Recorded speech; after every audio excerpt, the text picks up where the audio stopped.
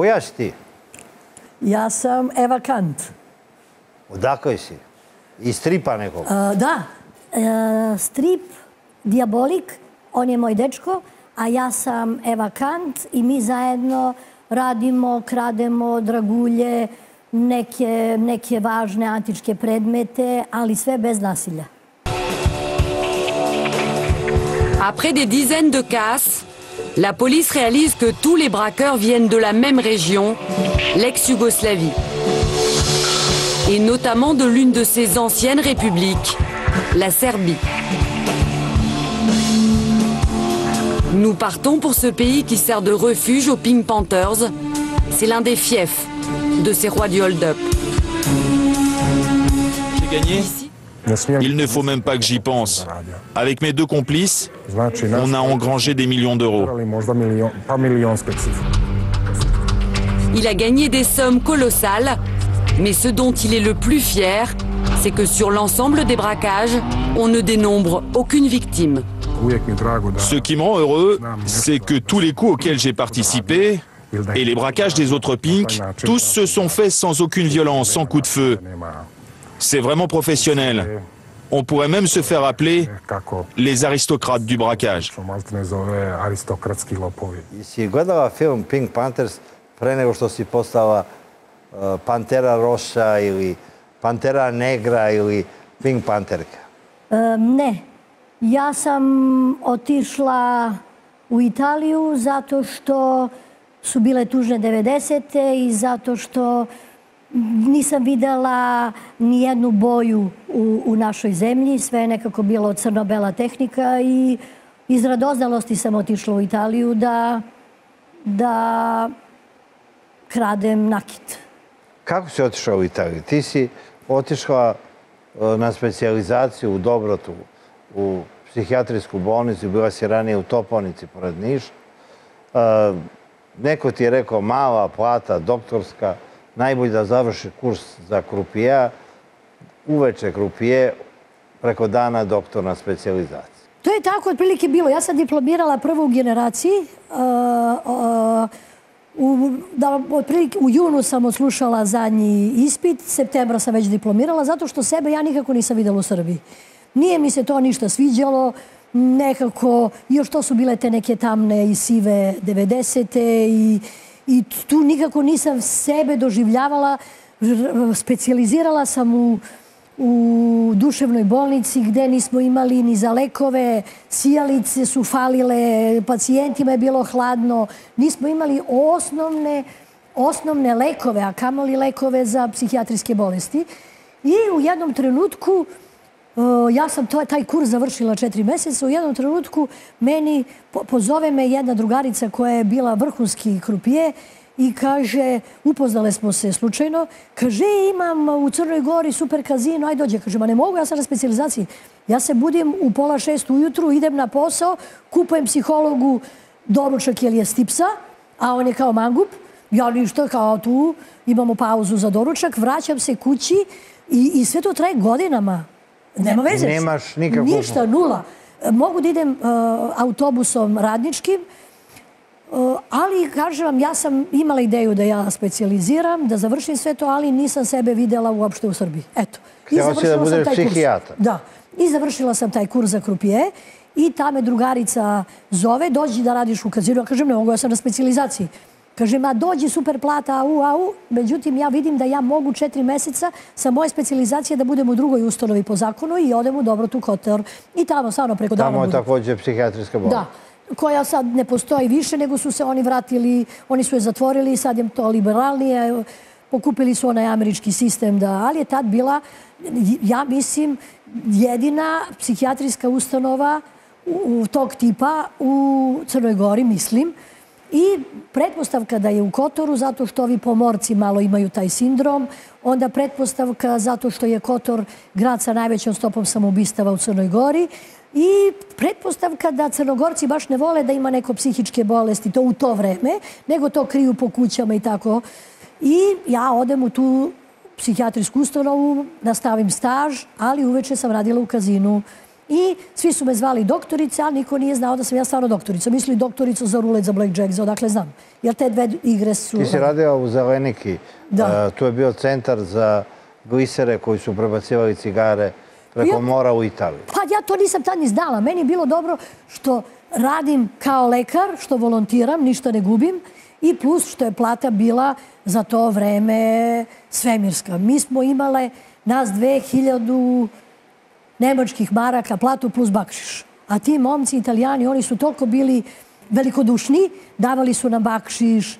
Posle sam ja tek videla, oni tu dođu u nekim skijaškim modelima i, i lice im bude tamno od hladnoće. Šta rade ovi momci zaleđeni? Kao, pa oni prebacuju tim gliserima cigare levo-desno. Oni su uglavnom bili igrači, ali mene to ništa nije interesovalo. Kažem, ja sam toliko imala obaveza zato što preko dana sam doktor, posle trčim uz, uh, uz do igala, uh, vežbam, ne znam, slušam muziku i uveče radim kao krupije. Eto. Jedne večeri došao je čovjek koji će obeležiti tvoj život i rekao da kreneš s njim u Italiju. To se nekako slučajno desilo. Ušao je taj gospodin u, u kazino, nije kockao, imao je neki Sećam se sako, što italijani zovu kamelo, to je ono boja kremkasta, ona mnogo lepa. E, imao je neke lepe cipele e, kožne na šniranje, imao je farmerice koje su sve to uklapaju, nije kockao, imao je košulju na prugice kao i vi sada, moderno italijansku. I, moram malo kompliment da vam dam, i a, nije kockao, je pio je čaj. I svi su se uznemirile one devojke došao i on, došao i on. Izgleda su znali Svi su ga znali. Pa ovi krupije i dvoje, troje kao au, au. A ja nemam pojma, ja, ja iz školske klupe došla u kazino, nemam pojma. I jednog dana gospodin koji je držao kazino kaže, doktorice, ajde da idemo na večeru. Ko će ovaj gospodin da te upozna? I ako, šta on ima mene da upozna, otku znam, nema veze. Odemo mi u neki restoran, on kaže, koje jezike pričaš, ja koje jezike pričam, ja bi ti došla u Italiju. Ja kažem, pa šta da radim? Pa ništa se ti ne brini, ja ću sve ti objasnim. Ako ti se sviđa, sve ti je plaćeno, put, boravak, da probamo. Ja tu zlato neko uzimam, prodajem, trgujem. Ja kao, pa ja to ništa ne znam, ja sam mislila to ide... Ja, ja ništa nisam imala pojma. Ja sam mislila to ide hjerarhija. No to prvo kao treba da džepariš, pa kao otkud znam da kradeš sandvič, pa kao ne znam nije, da ukradeš auto, ne znam. I poslije si ti kao super ta hjerarhija. Ko ona je na vrtić pa fakultet. On kaže, ništa se ti ne brini, ja ću tebi sve da, da objasnim, pa ako ti se sviđa, vidjet ćemo. Dođi. Ja kažem, pa ne znam, pa kako, pa šta? I on kaže, pa dobro, vidjet ćemo. I meni se tu najviše sviđa, što to je jedno plemenito stvorenje. Moja drugarica, ova krupije, je nešto bila prehlađena. I mi tu večeramo i on kaže, a tvoja drugarica što je prehlađena i ona trebala da pođe s nama, ja kažem, pa da, pa ajde njoj da uzmemo večeru. Ja kažem, pa ne znam, uh, a mi, ta, to davno prošlo vreme, to nisu bili mobilni telefoni. Imali su neke od po tri kila, neke, neke cigle, što je koštalo tad, tad. Tek se pojavili mobilni telefoni. I ja kažem, pa, pa ajde, možda je večerala u tom restoranu pored. On kaže, ajde mi da ju uzmemo, ipak o, o, o, ovdje se lepo jede. Mnogo je plemenit. Me, mene je tu osvojio na, na prvo, na, na, na, na, na odmah zato što, zato što on misli na ovu devojku koja je prehlađena i to je super. I onda smo mi došli, doneli nju, njoj tu neku hranu, onda smo se upoznali, tu smo pili neki čaj, smejali smo se i tako se završilo. Ja sam završila četiri meseca, otišla kući, nastavila moju specializaciju, ponavljam sivilo, neka zima, nešto sam raskinula s dečkom, nešto ne vidim ništa sebe u, u, u celom tom okruženju i, i u celom to, tim embargo i ne znam ni ja što je bilo. I jedne noći meni zvoni telefon, zove me jedna devojka iz tog kazina i kaže, doktorice, rekao ovaj gospodin da dođeš u Italiju. Pa kad? Pa kaže, pa odmah. I ja ništa odem u bolnicu, napravim otpustni liste šta je bilo, promenim terapiju šta gde treba, konsultujem se sa šeficom koju sam najviše volela i kažem odo ja u Dobrtu, što nije tačno.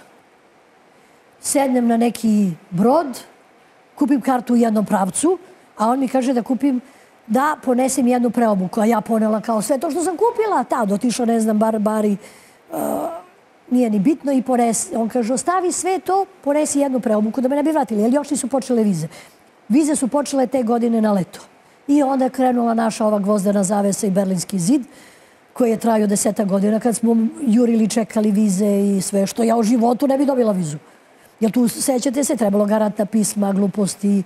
I ja tu odem bez vize, ovaj policajac, taj e, službenik u bariju, na engleskom, gde ideš, ja kažem, idem tu u kupovinu, pa čekaj što nemaš povratnu kartu, brod se vraća uveče, ja kažem, ma ja idem avionom posle do Milana zato što mi lepo idemo u Monte Napolone, nešto sam se kao namontirala. On kaže, koliko imaš para, ja tu ponela neke pare, on kaže, dobro. I ja odem u Milano. Umeđu vremenu, ja njega zovem i kažem, super, prošla sam, idemo, kaže, e, bravo, ajde, čime ćeš da dođeš? Ja kažem, idem neki voz da hvatam, u Italiji svi idu vozom, redko ko ide autobusom, idem, hvatam voz, prvi, ovo, ono, neki bosanac čuje moj razgovor. Kaže, jel imate karticu? Ja kažem, imam, izvolite. Ja mu dam tu karticu i on priča isto s nekim u Milanu. Kaže, ja sam kolima, hoćete da vas vozim? Ja kažem, pa ajmo, ajmo zajedno. Taman ja malo da spavam, jel vozite, vozim, važi, uđemo mi u taj njegov auto. Sve onako, on čuo razgovor kako ja s nekim pričam na srpskom, on pričao s nekim bosancem, nemam pojma. I ja kažem, dolazim kolima. Kojim kolima? Ja kažem, kojim kolima? On me sačekao sa jednim drugom na tom nekom, pored naplatne rampe. I, I stvarno je velikodušan. Časti ovog za putarinu i preko toga, ovaj, neću, neću. On kaže, nema veze. To, to, uzmi, prihvati, popijemo mi tu neku kafu i ovaj dečko ode svojim kolima, a ja odem sa njim u Milano. Ko je italijan s kojim se rodila čerka?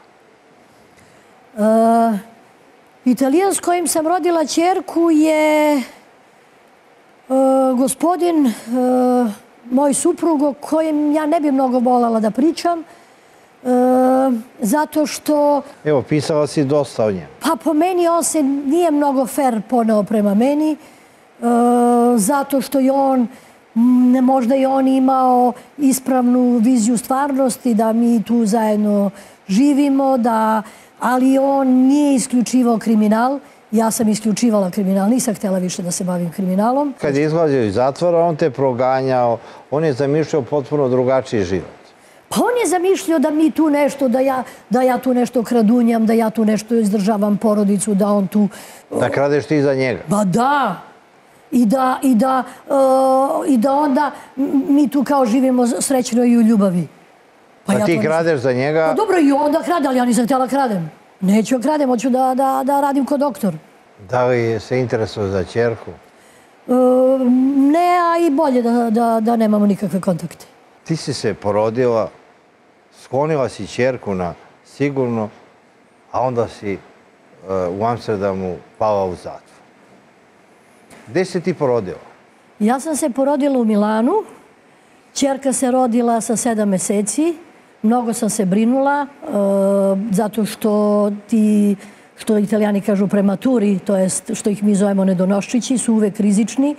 E, mnogo sam bila uplašena za njeno zdravlje, za život. Ti si odlazila u bolnicu kod nje da da. ne dojiš? Da. da, odlazila sam tri puta dnevno i ona je oko mjesec dana bila u bolnici i kada je napunila 2 kila i 300 po italijanskoj toj preporuci i kada je zdrava, e, puštaju je da je vodimo kući. I ja sam je odvela kući posle jedno mjesec dana. Ti se jedno vreme bojala da će ti uzmu čerku? Bojala sam se da će da mi uzmu zato što sam ja u tom trenutku bilo je komplikovano i već sam rizikovala da imam poternicu poternica je izašla u, na primjer, dva mjeseca posle njenog roja. Ma ne, ne, za malo da kažem, ne Anke, mjesec možda i deset dana je imala i izašla je poternica u Italiji. Pot, jesi, za moje pravo ime. A jesi uzela čerku? Već je bila kod kuće. I onda mi je advokat zvao jedno veče u devet i rekao da je veoma opasno i da napustim zemlju kako znam i, i čerka i ja. Ti si sve što si radila, radila pod raznim imenima. U Amsterdamu si bila Slovenka, Barceloni, Čehinja. Imala si ko zna koliko pasoša. E, gotovo ništa nisi radila na tvoje ime. ti imaš ime, ti si lekarka. To je bilo i praktično da, da sačuvam moje pravo ime, zato što Ehm, sam u stvari otišla u Italiju sa tendencijom da nostrifikujem diplomu i da radim kao lekar u Italiji. Međutim, to nije bilo lako, zato što je trebalo, ta, ta nostrifikacija dugo traje i bilo je praktično da, da radim po tuđim imenima, zato što mi kao Srbi nismo ni mogli da putujemo. Tako da je bilo praktičnije da ja budem Slovenka. Eh, imali smo našeg eh, slovenačkog konzula, koga smo tako prozvali, to je naš jatak bio, koji u svakom trenutku nama donosio pasoš, ilišnu kartu i vozačku dozvolu na neko ime. Pa jedno mi je doneo mm, pasoš sa troje dece, svi imaju crne oči i crnu kosu i, i trebalo da pamtim svu tu sitnu decu i gde su rođeni, kad su rođeni i to mnogo mi je to bilo komplikovano. Ali u tom trenutku se taj pasoš tako zadesio. Ali jedan put je Bujica odnela sve tvoje pasoše i mene. Jednom kad sam živela na moru, bio je neki zidić, blizu mora i tu su bila neka, neka dva kamena i neki mali otvor. Ja sam tu sakrila i moje pasoše i dva, tri pasoša od mog druga i sve nam je to tu bilo kao tajno skrovište. I zove me e, moj drug koji je živao u tom stanu dok sam ja na putevima i kaže odneo ti pasoše u reku. Reka odnela u more. Ja kažem, čekaj, kako moglo pasoše da odnese more, reka, šta pričaš? Kaže, došla bujica, došao potup, odneo zid. I odoše pasoši i sve ode u more.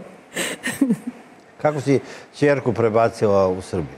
To je bio veoma ozbiljan potez. U, u tom trenutku svi mehanizmi u glavi se pale. E, pale se...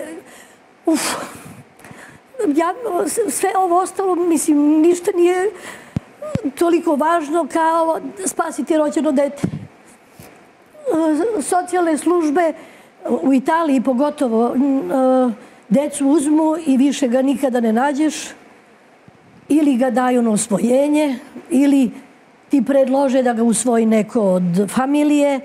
E, familija ne može da dođe zato što treba viza za Italiju i to je sve bio jedan strašno, italijani kažu, turbulentan period e, u mom životu. Međutim, izgleda da, da, da sva ta nek, svi neki mehanizmi koji su upale i, i sve počne da, da, da funkcioniše tako i plus sam imala pomoć od mog veoma dobrog druga, nažalost pokojnog Rake, koji je rekao, kraljice, nemoj da se brineš, ja ću da ti prebacim čerku preko šume.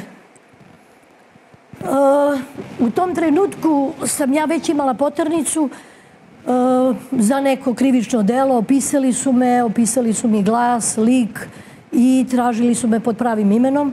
Meni je to rekao advokat. Uh, ja nisam imala načina da spasim čerku zato što je trebalo na moj pasoš da, da, da idem i plus je trebalo dozvolo njenog oca. E, ja, ja sam e, nekako skupila svu hrabrost otišla sam u policiju sa, sa njenim ocem i dali smo odobrenje da čerka sa mojom mamom napusti zemlju. Sve je to bilo vrlo neobično i... Tebe su pitali zašto ona nije u pasošu. Ti si rekla nije mogla jer je rođena u Italiji. Da. Da ona, kad je ona ušla u Italiju? Ona nije ušla, ona je rođena. Ona je rođena u Italiji. Onda smo mi pokušali na srpski pasoš da da, da ona napusti zemlju. Međutim, Austrijanci nas nisu pustili da uđemo u zemlju, jer dete nema vizu. A dete ne može da ima vizu kad je rođeno u Italiji. Tu su nas izbacili iz autobusa za malo što nas nisu, što mene nisu uhapsili, ja imam poternicu, mama kaže ide sa nama, uh, ja krijem slovenački pasoš u sedište, uh, cela ta drama traje, mi smo u nekoj planini, u Tarviziju, prevaravaju dokumenta, neki čovek puši pored mene, ja kažem policajcu zašto gospodin puši, on ne gleda moj pasoš, jel da je pogledao moj pasoš? Srpski, on bi vidio poternicu u Italiji. I to, tu, tu automatski moje hapšenje i veoma veliki problem za dete. Što će mene da uhapse, to, to nije toliko strašno.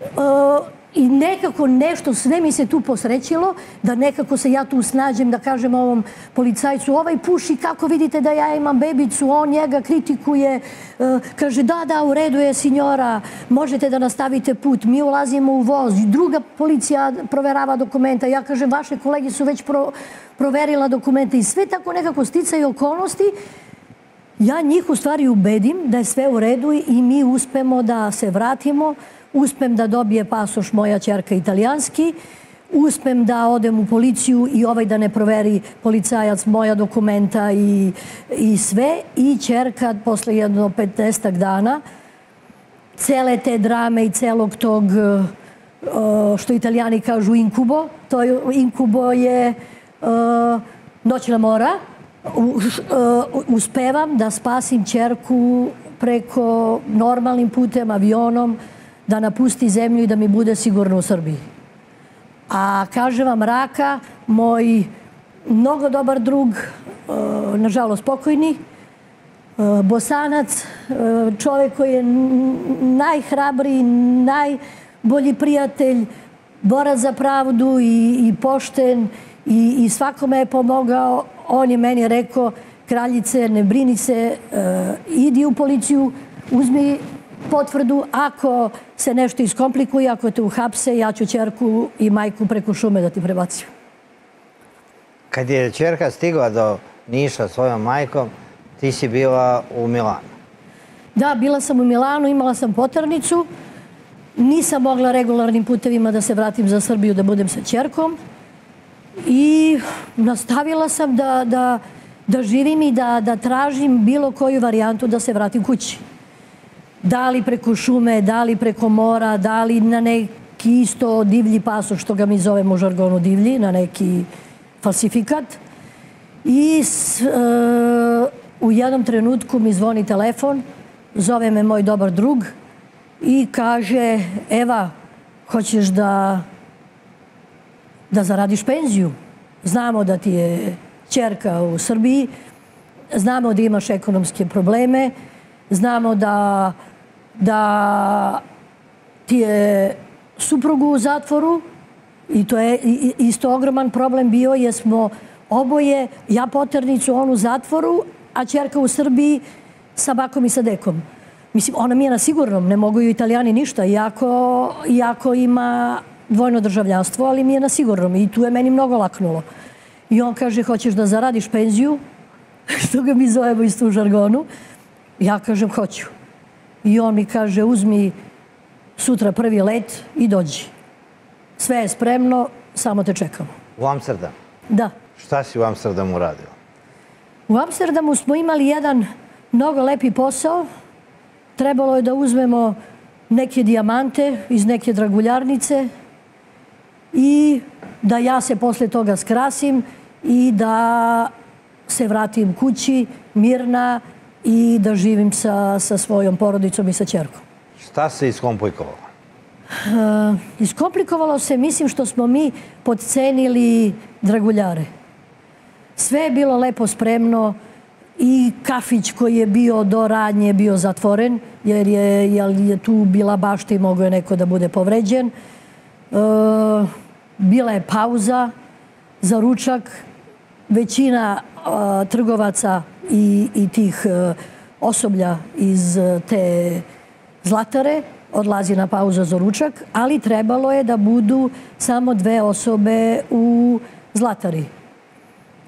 Taj dečko koga sam ja tad prvi put upoznala, uh, ušao je u radnju. U jednom trenutku trebalo i ja da uđem u radnju kad je on već bio u razgovoru sa, sa zlatarom i da mi da zazvonim na vrata da zazvonim na druga vrata, imala sam periku, imala sam sprej, onaj što ga, kao biber sprej.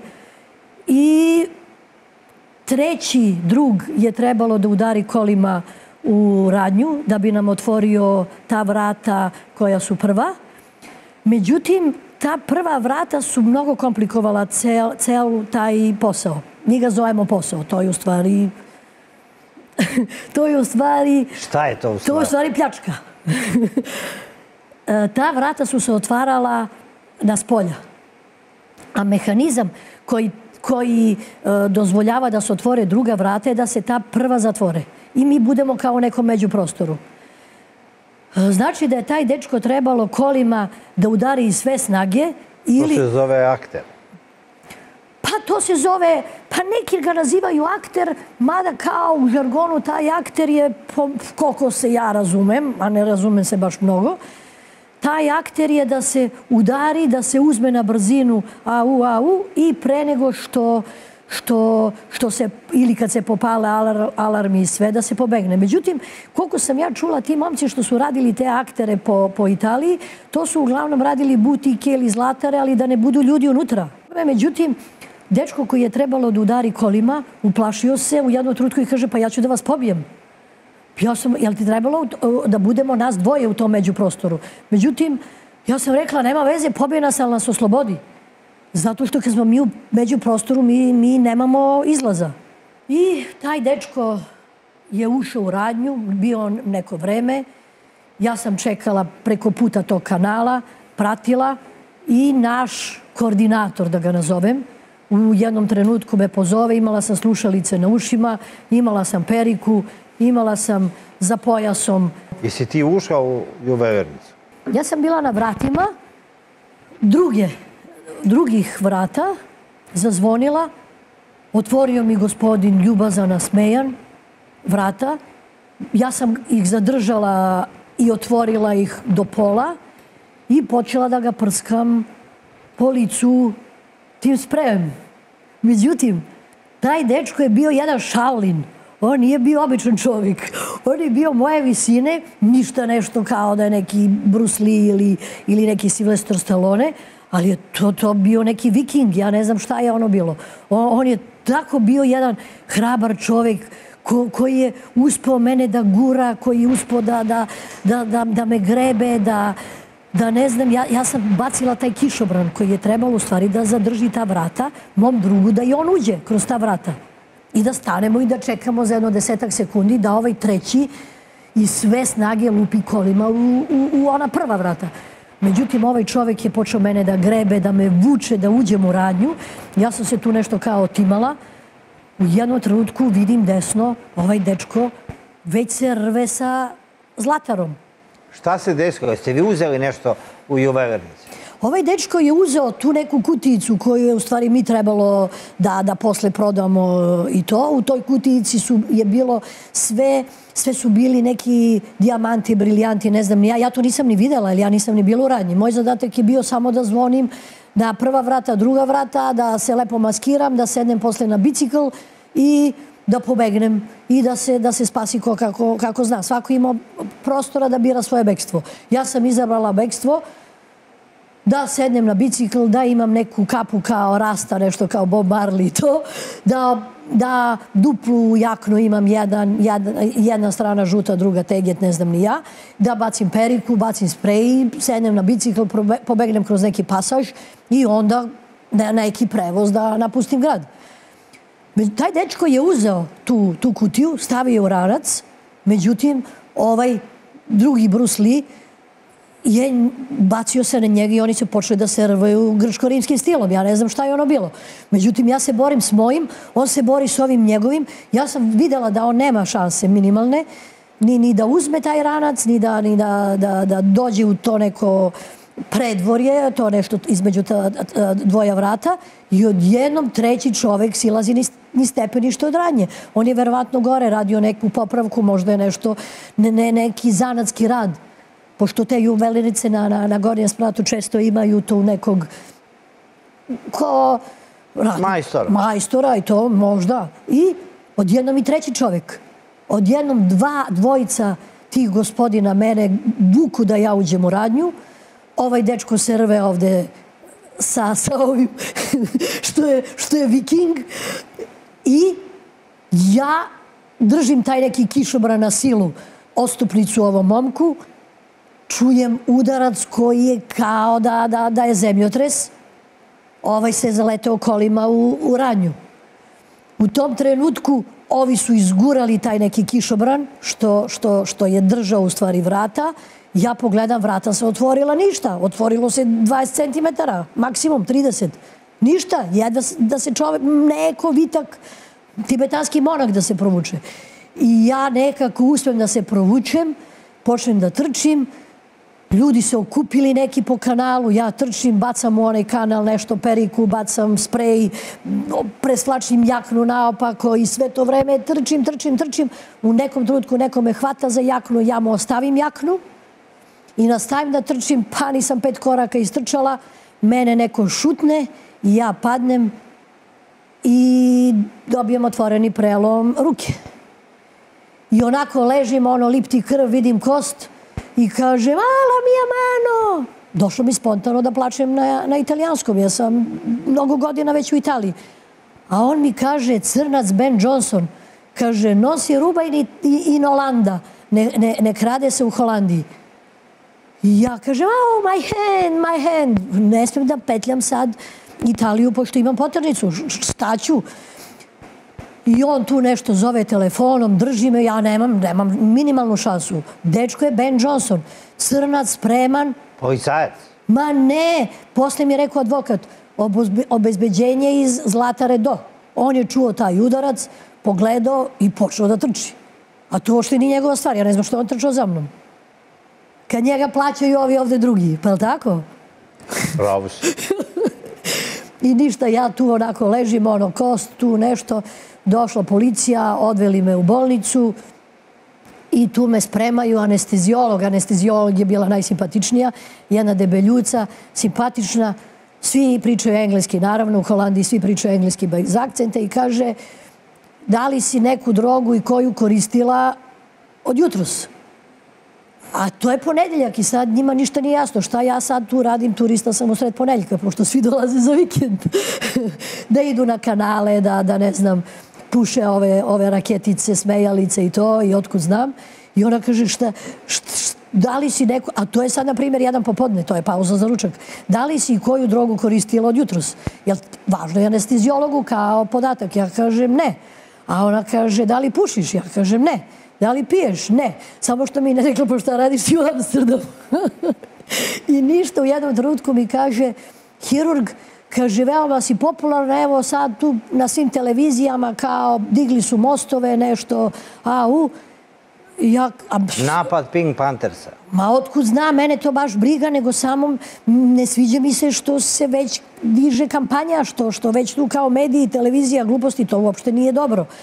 Ja samo sam ga pitala onako sva nikakva uh, ko je uhapšen, on je rekao tvoj drug, a za trećim se traga. Ja sam rekla, uf, sva sreća, bar je ovaj jedan pobegao, taj što, na, što je udario kolima u, u tu zlataru. Eto. I onda tu mene hapse. Jesu li shvatili šta ste vi radili? Oni su shvatili, mada sam ja imala tu neku svemirsku priču, tužnu, kao ja sam imala dugove, ja sam upoznala tog nekog dečka, mislim, kao da, da, da, da malo minimiziram ceo događaj. Ja ne mogu da kažem, evo, ja sam došla sad u Amsterdam da vas pljačkam. To je malo glupo. E, to baš ne vole sudije i to. I ja sam rekla, ja sam tu neke dugove imala, ja sam Slovenka, e, došla sam, e, ponudili su mi da će da, da mi oproste te dugove, ako ja tu nešto to zazvonim na vrata i i šta ću ja, ja sam pristala. Eto, mislim, to je kao neka tužna priča, ali to baš nema mnogo, nemaju baš mnogo sluha ni sudije za to, ali lepše zvuči. Jesu te prebacili u, u zatvor?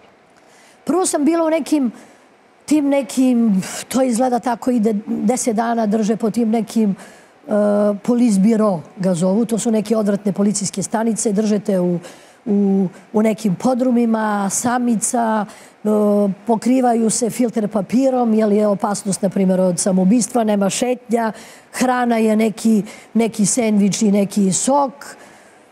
I eto, tu su čuvari, što je meni bilo neobičajeno, i muškarci i žene.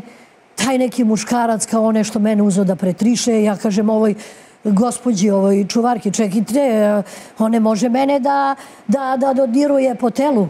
A ona kaže, ne brini se, ne brini se, to je moj kolega.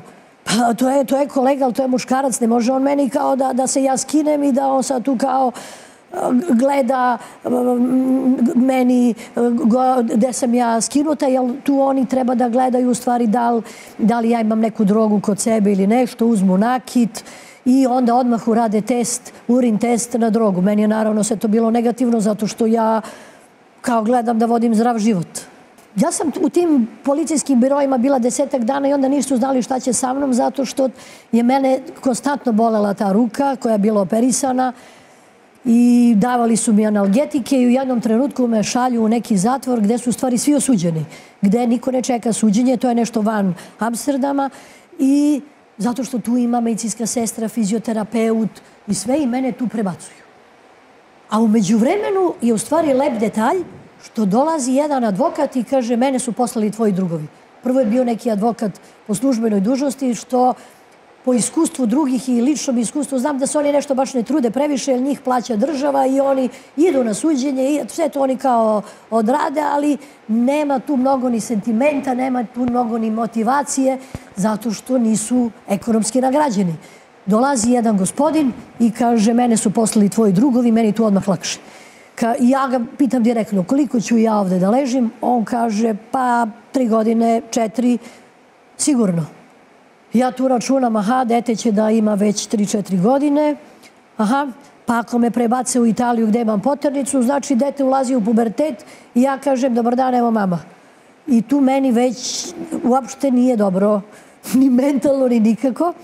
I ja tu već, ne samo ja, mislim da svako to čim ga uhapse, da, da to je neki prirodni instinkt, da ljudi počnu da razmišljaju o eventualnom bekstvu i, i, i, i taj neki, ta neka motivacija, Izgleda da je to možda neki životinski instinkt, možda je to neki socijalni instinkt, ali ja sam imala mnogo važnu roditeljsku motivaciju.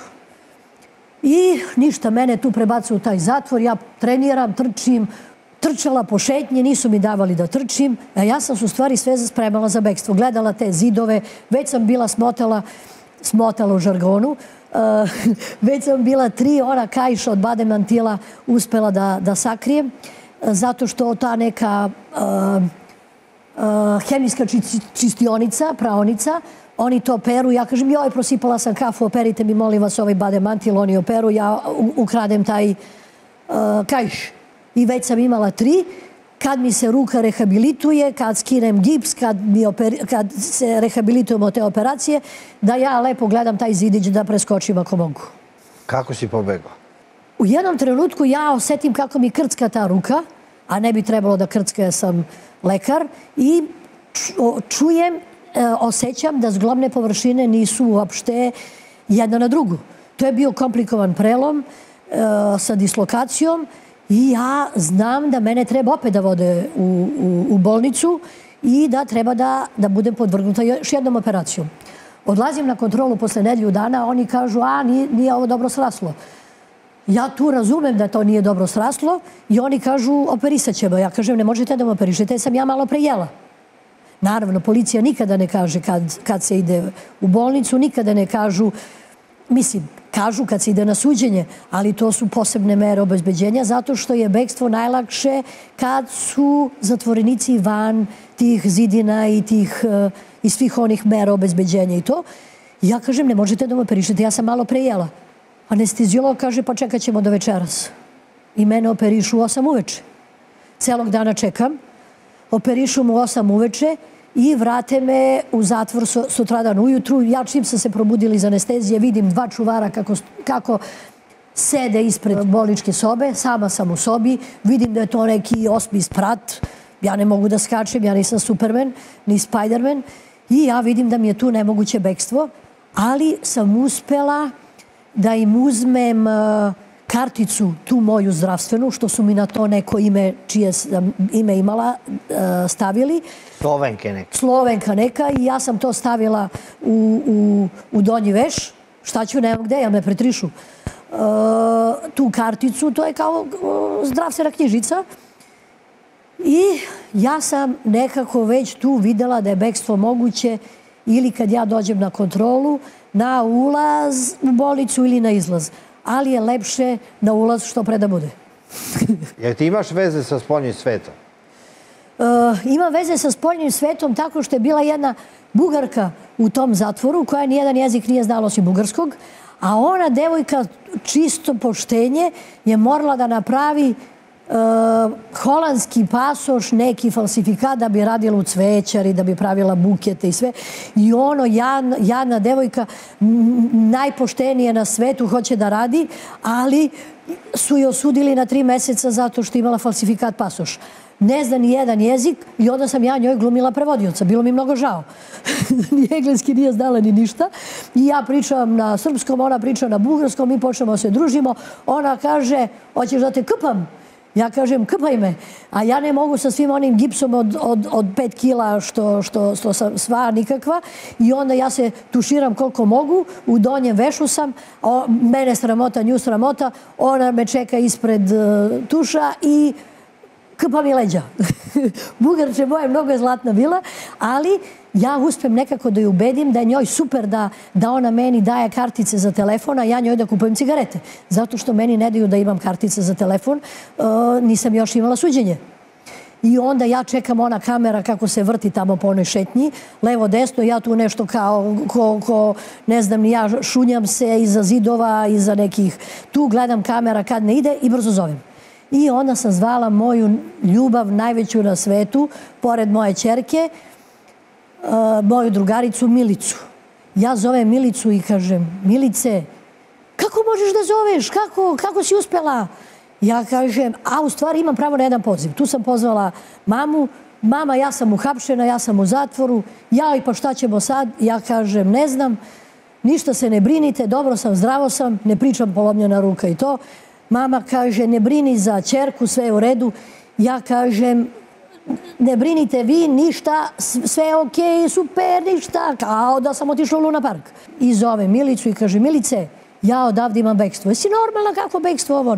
Ja kažem, Milice, sto posto, ovi, ovi su, vode me na, na, na snimanje, vode me na kontrolu sto posto. Kad sam završila tu, tu operaciju, ja uzem i ovom čuvaru koji me vodi, ja u polunarkozi sam, kažem, To se zove veštačka frka. To su moji drugovi iz Podgorice smislili, to je najsmešniji termin, ja napravim veštačku frku. Od čega vi mene lečite? Ne znam ja šta vi mene lečite, šta mi mene lekove dajete, au, au.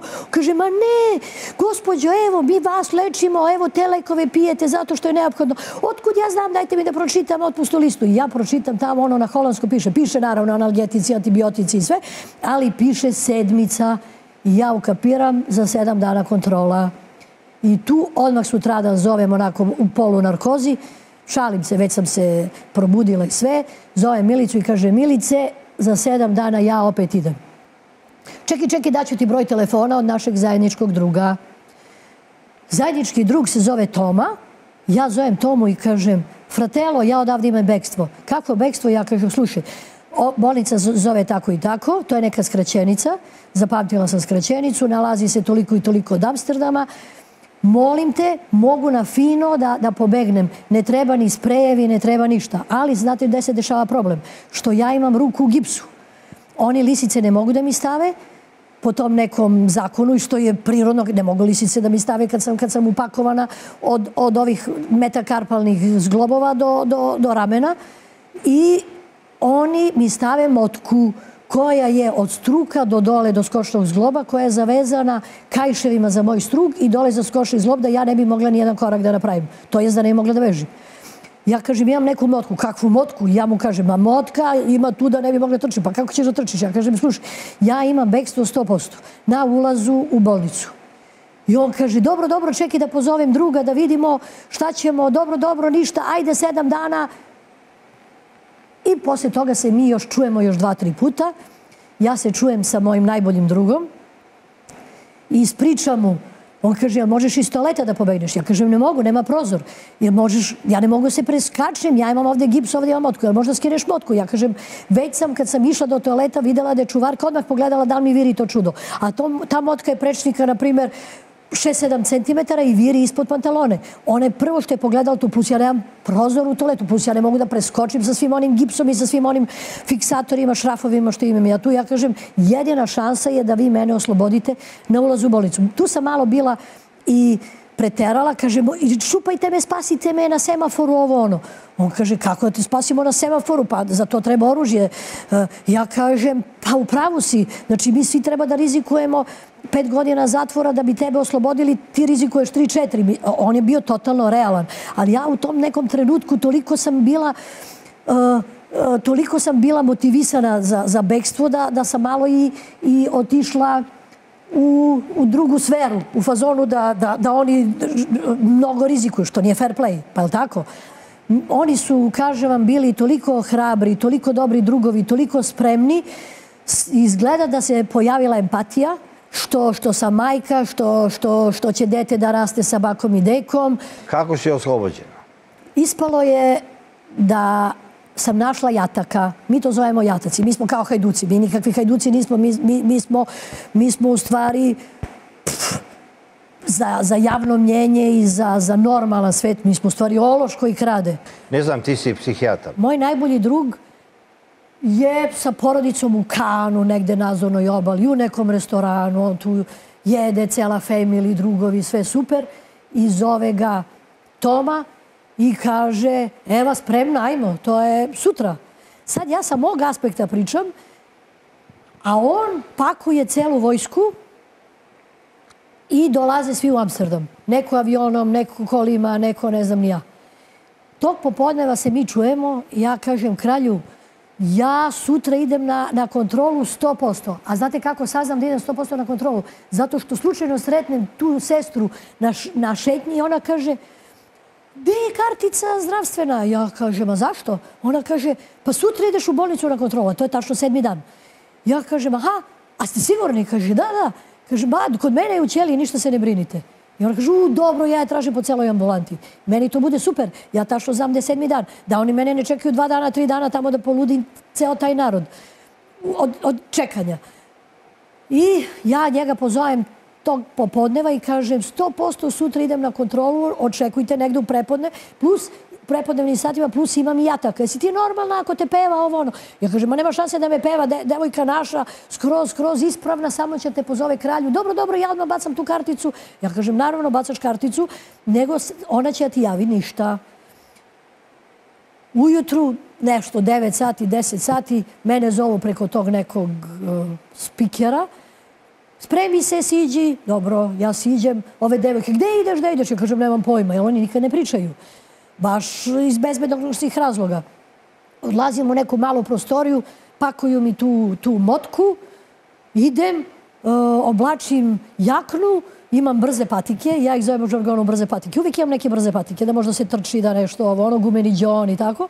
I ja uvijek te neke brze patike imam na pertle i uh, ono, i upakujemo u neki kombi i ja vidim Sandru na govornici kako ona priča i kako mi ovako klima glavom. Ja kažem, ja, oj Sandra, Sandra je jatak pravi i ništa, ulazim ja u taj kombi, pored mene ta neka čuvarka koja je jedna debeljuca i hoće da smrša.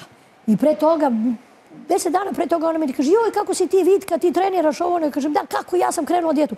u, u toj Holandiji svi su nekako demokratska zemlja i oni demokratski se ponašaju prema zatvorenicima. Pričaju šta čitaš, aha, dobro, aha, hoćeš da dođeš u crkvu, onaj sveštenik uzme ne, ne, neku celu četku i ovako ih sveti vodicom, oni vrište, smeju se, one crnkinjima. To cirkus živi. Puše tamo te raketice, onda muškarci čuvari, žene čuvari, smeju se, čitaju stripove. Skroz demokratska zemlja. Nije ono kao sad, ja sam čuvar, ti si, ti si zatvorenik, pa kao tu neki zid i kao oni su nešto. Ma ništa, oni su tako, tako nekako opušteni i meni ta čuvarka koja je malo debeljuca kaže, ej, znaš šta, ja evo dijeta, ovo ono. Ja kažem, super, go, go. Ulazimo mi.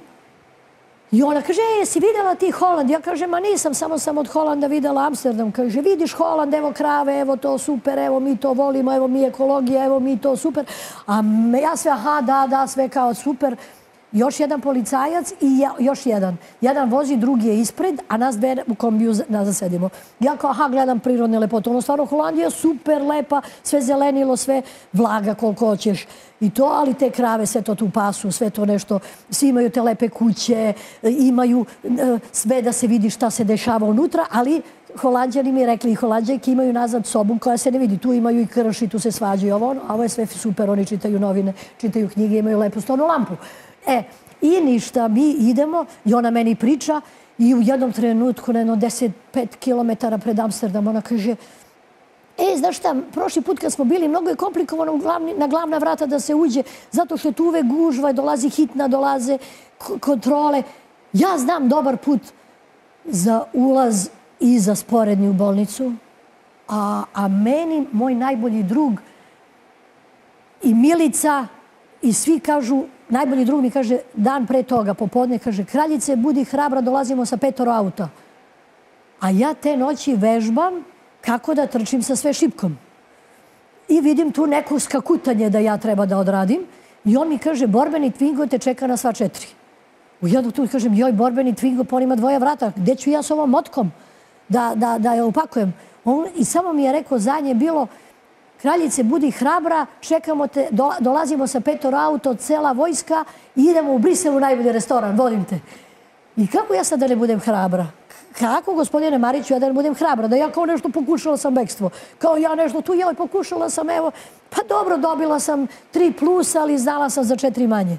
I u celoj toj priči, on, o, te noći, sećam se, sama sam u toj nekoj samici, pošto nisam osuđena i onda sam u nekoj samici. I ja gledam na sad, ponoća, do tad vežbam to skakutanje, sad, kao da mi je zakočena noga u, u kolenu. Ja skakućem po toj ćeli i i kao ono budisti što imaju mantru neku. Ja sam samo pričala, ja sam, možda mnogo glupo zvuči, ali ja sam pričala, ja sam hrabri leopard, ja sam brzi leopard, ja ću biti slobodna. I ja to kao, ja sam brzi leopard, ja sam hrabri leopard, ja ću biti slobodna. Otprilike tako neka mantra, da, da, da, da, da, da, da, ja sama sebi kao nešto pričam, kao neka sugestija. Ali ja u stvari vežbam da to skakućem i da se bacim i bacam se na krevet kao ludi čovjek. Da bi se bacila naravno u taj auto. Šta se dalje dešava? Ja uspem tu nešto da ospavam. Rekla sam sestri, nemoj da mi pišeš pisma. Rekla sam, kaži mami da mi niko ne piše pisma, da ne bi ostajala ta pošta. I rekla sam sestri, ja ću za tvoj rođendan da budem slobodna. Ona je samo rekla jaoj, kad smo se čuli telefonom. I evo ga, otprilike približavamo se tom baš detalju kad je bekstvo. Ova čuvarka meni kaže, e, znaš, sporedni ulaz. Ja kažem, sporedni ulaz i počne ovako da mi bubnji sporedni ulaz, a mene vojska čeka na glavnom ulazu. Šta ću? Sporedni ulaz, približavamo se, vidim znak za bolnicu, ona već motivisana da priča ovom gospodinu što vozi, ko je sporedni ulaz. I ja njoj kažem, oh, how's gonna diet?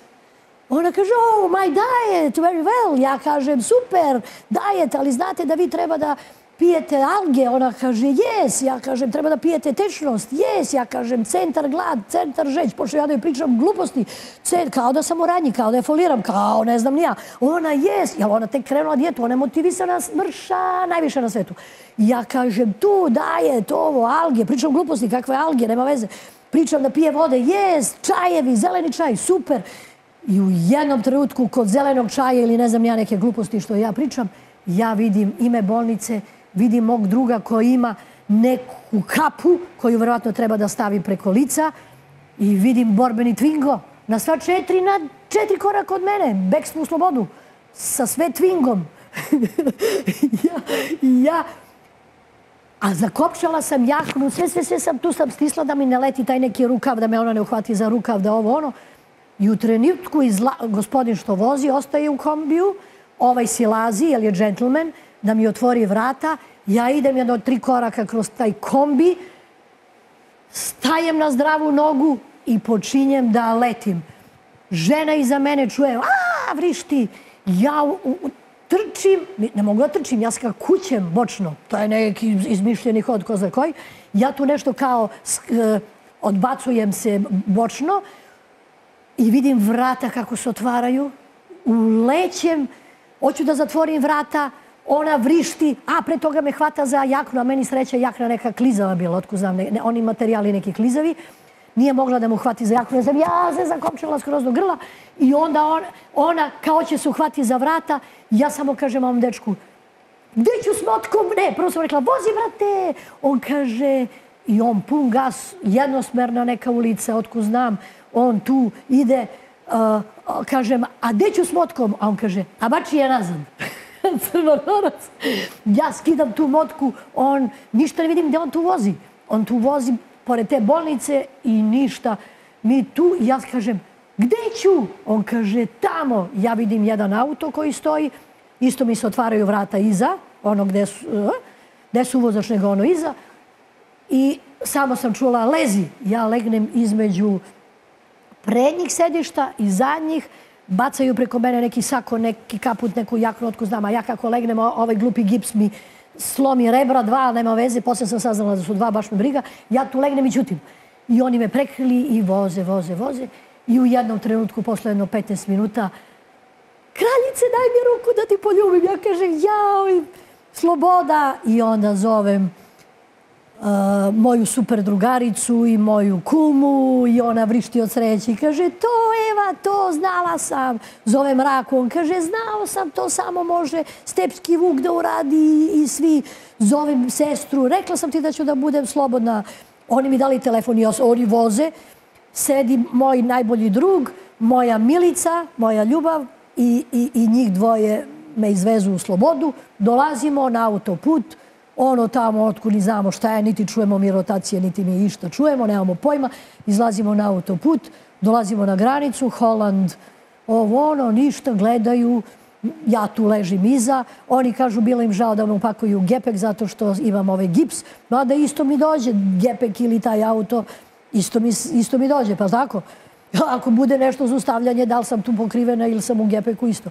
I nema veze i mi dolazimo u Pariz, i počnemo da se ljubimo i da se grlimo i tu je radost i tu ja odlazim u, u, nek, u onaj Lafayette robnu kuću. Moj najbolji drug kaže, evo ti potroši, jer ja tu treba da kupim i veš i ne znam ni ja, treba kupim i četkicu za zube i neku odeću i neku pižamu i nešto i neke brze cipele valjda.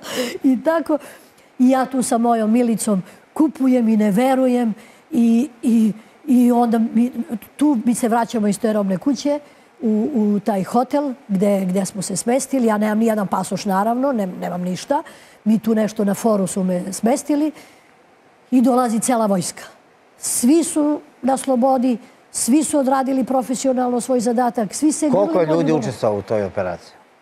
Pa, Moj najbolji drug kaže da, da je bilo sa petoro kola. Došao je taj momak što je vozio. Došao je ovaj što je klimnuo glavom, što je, trebalo, što je stavio tu neku kao fantomku i on je kao trebalo ako nešto pođe po zlu da radi i da nešto se blesavi i da beži preko nekog parka, da njega jure, da misli da je budala.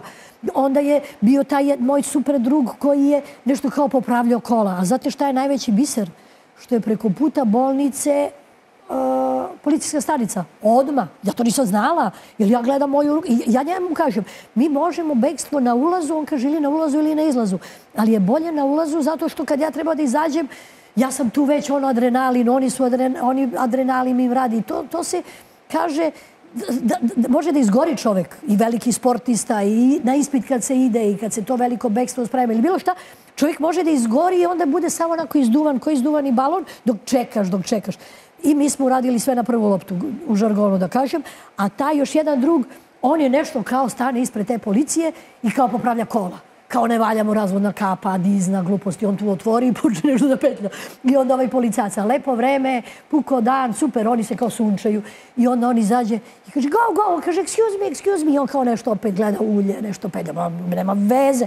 I on tu kao popravlja kola, napravi dva kruga, pa opet stane ispred. Da me ovi ne bi stigli, jer oni tačno, tu je ta policijska stanica preko puta bolnice. Nismo imali izbora, šta, šta ćemo? To su takvi drugovi bili svemirski. Ja ne znam da li... Mislim, ja... Koliko je njih živo i na slobodi? Pa, živi su svi, nadam se.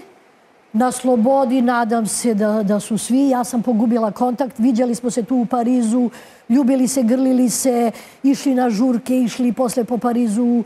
Ne znam... Uh, u Mule Ruž ili tako, da se mi sad tu častimo. Kad si videla čerku? Čerku sam videla, pa što pre. Zato što ja sam mogla da sačekam da mi konzul moj slovenački... Alternativni konzul. Konzul. slovenački. Koji je bosanac. Jeste. Ali on je naš konzul i on je, on je toliko, toliko jedan smešan lik i toliko jedan dobar drug. Ja ga pozovem i kažem, konzule, šalje mi pasoš. On kaže... Koliko pasoša ti ne pravi? Puno. Ali je najsmešnije kad jednom mom drugu dao pasoš Tijana. Malo je popio rakije. I on zove i kaže, šta ću s Tijanom, bre? Kaže, u, mora da sam popio ove rakije. Kaže... Na ime Tijana mu dala? Na Tijana mu dala sa sve slikom muško. A on kaže, joj, uzmi obriši to A, nema veze. I ovaj uzme i obriše to A. I on bude Tijan. Cirkus. Konzul je bio super. Uh, ja ga zovem i kažem, Frka je generalna što pre mi šalje. On kaže, imam ovde jedan brzi, ali nemam ni vozačku dozvolu, ni ništa. Ja kažem, daj mi najbrži pasoš samo da se dokotrljam do čerke. Važi, važi, Eva, ovo šaljem, kojom poštom hoćeš? Ja kažem, bilo kojom najbržom poštom šalji mi. I onda on meni pošalje, čim je stigo taj pasoš, ja odem vozom Pariz-Milano, pošto mi nije baš bilo super da idem avionom sa sve tim gipsom, odem na rengen, platim tamo neku kontrolu, vidim da su te zglobne površine srasle, još uvek tu stoje fiksatori, nije bitno. I ja dođem lepo vozom do Milana. Umeđu vremenu me zove jedan trug. Dođi, imamo super plan, super posao. Ja kažem, ne mogu, bre, idem čerko da vidim. Molim te, ti si obišla taj posao, ti si našla taj posao. Ajde preko okeana, čekamo te, au. Ja kažem, ma neću, bre, tali je super, ajde, ovo nije ispalo kako je trebalo sad, ovo teška penzija, gotovo. A ja našla radnju, moja radnja. Mislim, moja radnja, nije moja radnja, radnja je od draguljara, sam je ja našla slučajno šetajući. Idemo da je radimo, a u, ja kažem, ništa, ragaci, vi polako radite bez mene, ja odo kući. Ta imam samo pasoš i nemam ni, ni vozačku, ni ličnu, ništa nemam. Jel je konzul rekao, imam samo pasoš. Mora da čekaš ako ispadne nešto i ovo. Ja kažem, ma ne čekam ništa, idem hrabro na ovo. Kupim ja neke makaze, ne znam ni ja kakve, obične, i počnem da sečem onaj gips u WC-u. I sečem, sečem malo, pa se one svestim od bola, pa sečem, sečem, pa se sve tako sečem i na kraju sečem ja čudo. Ona ruka nikakva, zato što sam ja bila u tom Amsterdamu 24 dana, pa dok sam čekala pasoš, pa dok ovo, pa dok ono, to je ispalo već jedno 40 dana da, da je meni ruka u tom čudu. Sva atrofirala, ovi fiksatori vire, šaka natekla, ma katastrofa, na što mi liči ruka. Kupim neki elastični zavoj, smotam ja to sebi imobilišem, jer me boli lakat, spakujem ruku u džep, kupim hrabro kartu za, za brod i prođem onog policajca italijana.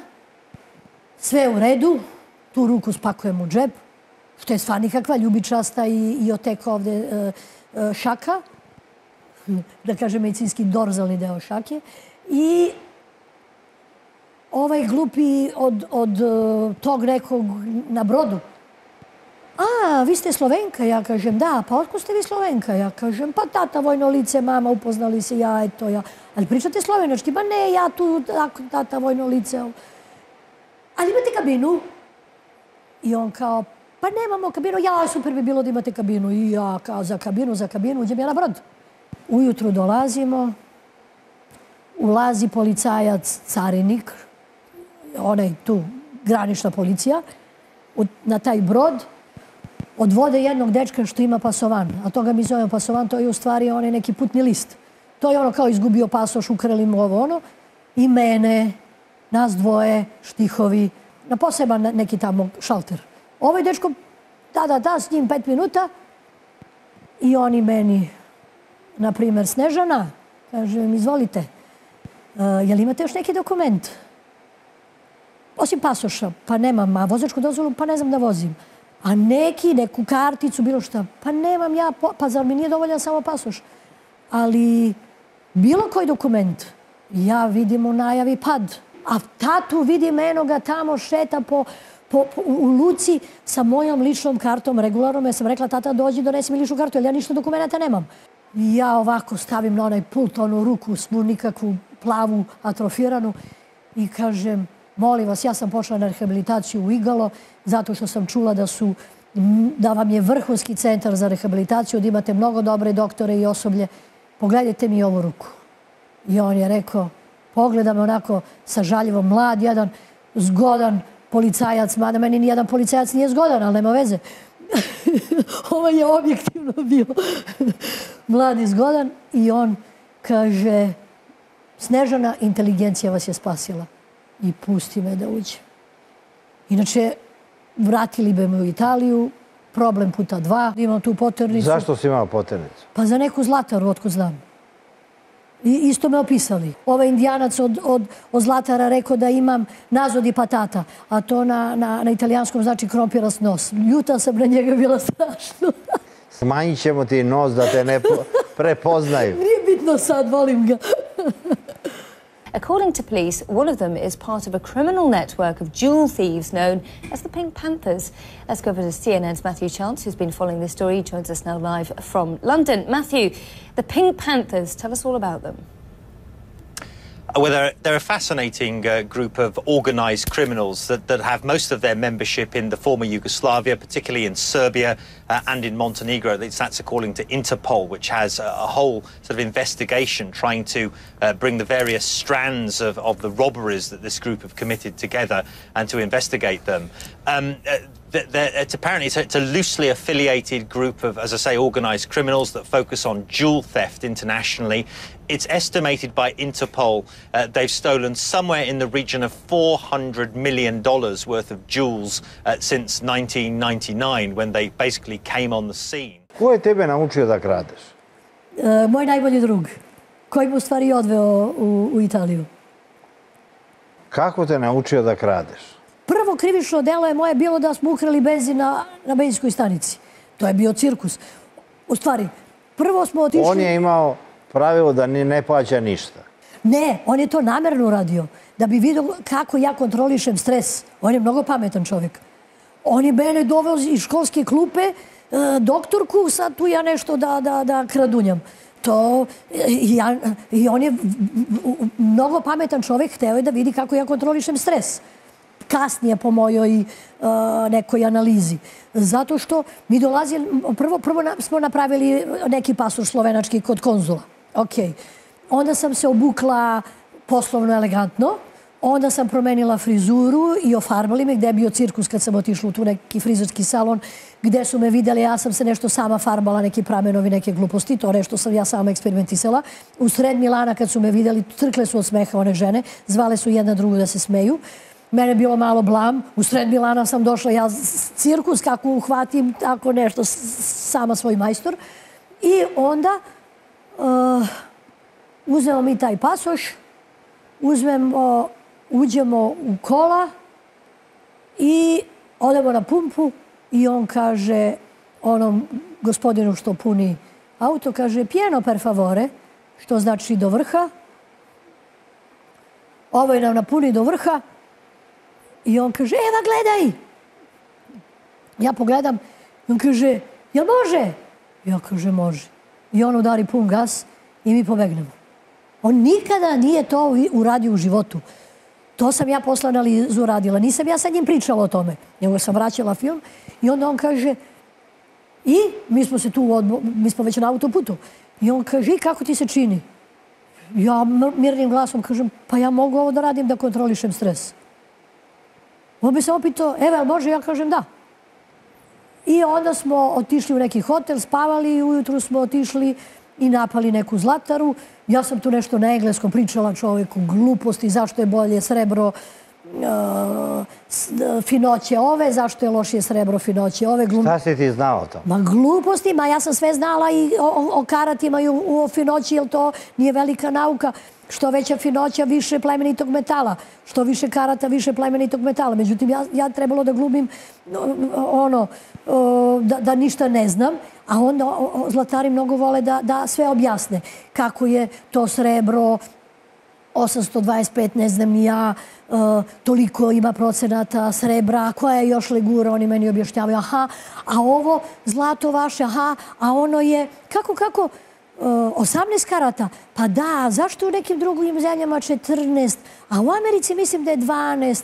Aha, pa kako vi to da mi objasnite? I onda oni mi objašnjavaju kako je to njihovo super zlato, zato što je 18 karata, zato što to. I dok oni meni sve to mnogo lepo objašnjavaju i, i dok sve mi tu sedimo, moj najbolji drug uzme šta treba da uzme i mi se zahvalimo ljubazno gospodinu i izađemo. Posle jedno, ne znam, kad smo bili na Suigurno već, kad, kad smo na nekom autoputu, on meni kaže, doktorice, kako ti se čini ovo? Ja kažem, pa čini mi se ok, ja, ja mogu da kontrolišem taj stres i da se ne zadišem i da, da ne paničim i da ne padam u nesvesti, da ne znam ni ja. Nisam ja, ja sam to polako, polako učila i polako, polako učila italijanski i polako, polako videla razne varijante u radnji i tako. Eto. Ali ja vam kažem, ja nikad nisam bila neki centarfor. Ja sam u nekim trenucima redki bila centarfor. Ti si bila tu da zamajavaš. Pa da, ja sam bila tu neki levo krilo, desni bek ili neki igrač. Si uzela nekad sama? Kad si uzela prvi? Jesam, pa kad bude finansijska kriza ja moram sama da uzmem. Sama moram i da odem da vidim i neki sajam kad, kad, kad je leto dugo, kad, kad svi se potrošimo pare, kad ne znam, dugo leto, šta ćemo? Ili, ili kad, kad to se desi, taj neki pad, pa, pa advokati, pa boravak, pa ne znam ni ja i to se Obično sve... Obično ljudi misle kako došlo, tako i otišlo. Pa ne Često baš. ostanete bez ičega odmah. Često. Samo što je taj moj najbolji drugi rekao, kaže, evo ti si jedina koju sam ja upoznao da nisi uzela u, u, na gomili neki novac i da nisi odmah kupila Gući Gucci čizme. Meni nije interesovalo da ja sad kupujem Gucci čizme od 2000 eura, baš me briga i da mi izađu iz mode sljedeće sezone. Mogla sam ja da radim u nekom kafiću i, i da radim za 800 eura, a, a da stan plaćam 700. I, i, i da, ne znam, ja e, dok ne rostrifikujem diplomu, mogla sam i da pravim hiljadu kafa dnevno i, i ne znam ni ja. Ali ovo mi se pokazalo kao, kao iskušenje. E, tu je i zanimljivo i putuje se. A, a ti momci sa kojima sam ja radila i koje sam upoznala, gospodine Mariću, oni su tako bili mladi, hrabri momci, dobri drugovi, plemeniti prema životinjima.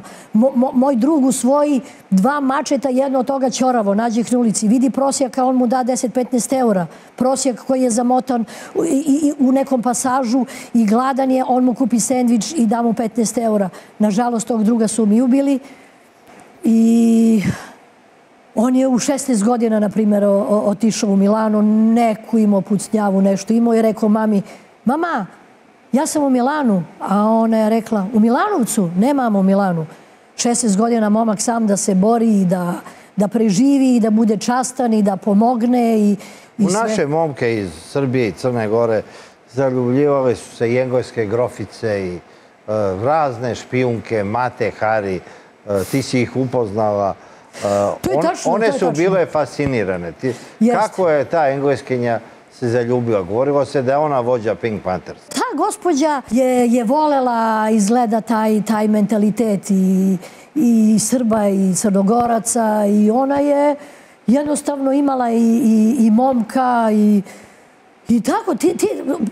U te momke su se skoro sve devojke zaljubljivale. I glumice, I, na primjer, ta, taj moj drug, što je nažalost spokojni, imao je devojku glumicu koju je napravio ceo stan, sam je tu neku drvenariju napravio, jer je mnogo bio sposoban. Glumio je u predstavama, usvojio dve mačke. Ova mučenica bila alergična na mačke, čuvala te mačke. On je otišao u jednom tutku, kupio cigare i rekao, odo ja i ostavio i namešta i stan plaćen i te sirote mačke. I ova ga je čekala i u jednom trenutku njegova druga, njena drugarica glumica vidim je slučajno i ona kaže, pa gde je on?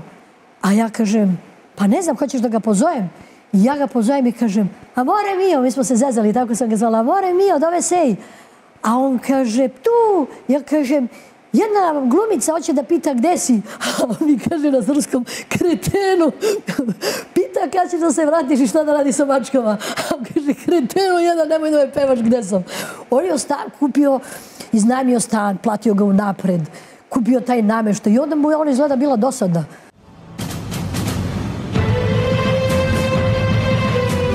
Kožan, star 44 godine, i Damir Hadžić, star 46 godina, likvidirani su 23. jula na ostrovu Krf u Grčkoj.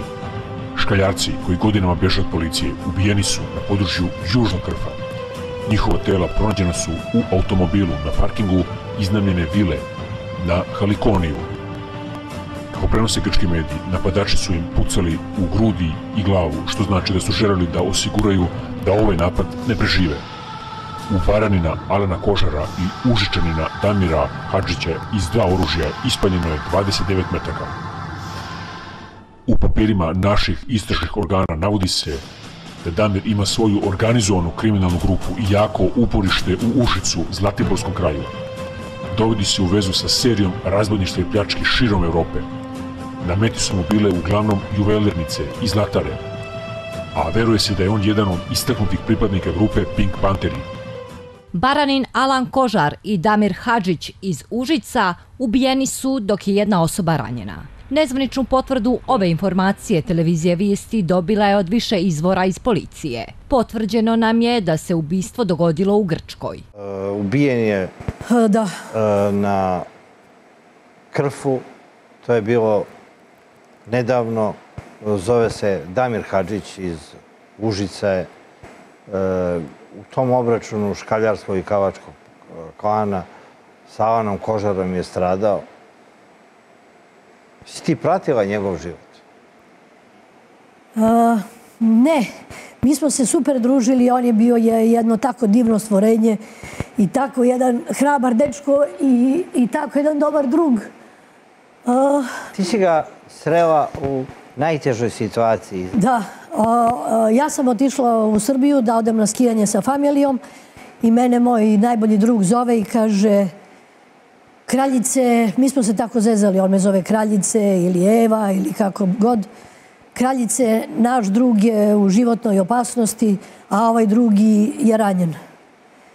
I ja kažem, dobro, vraćam se u Milano.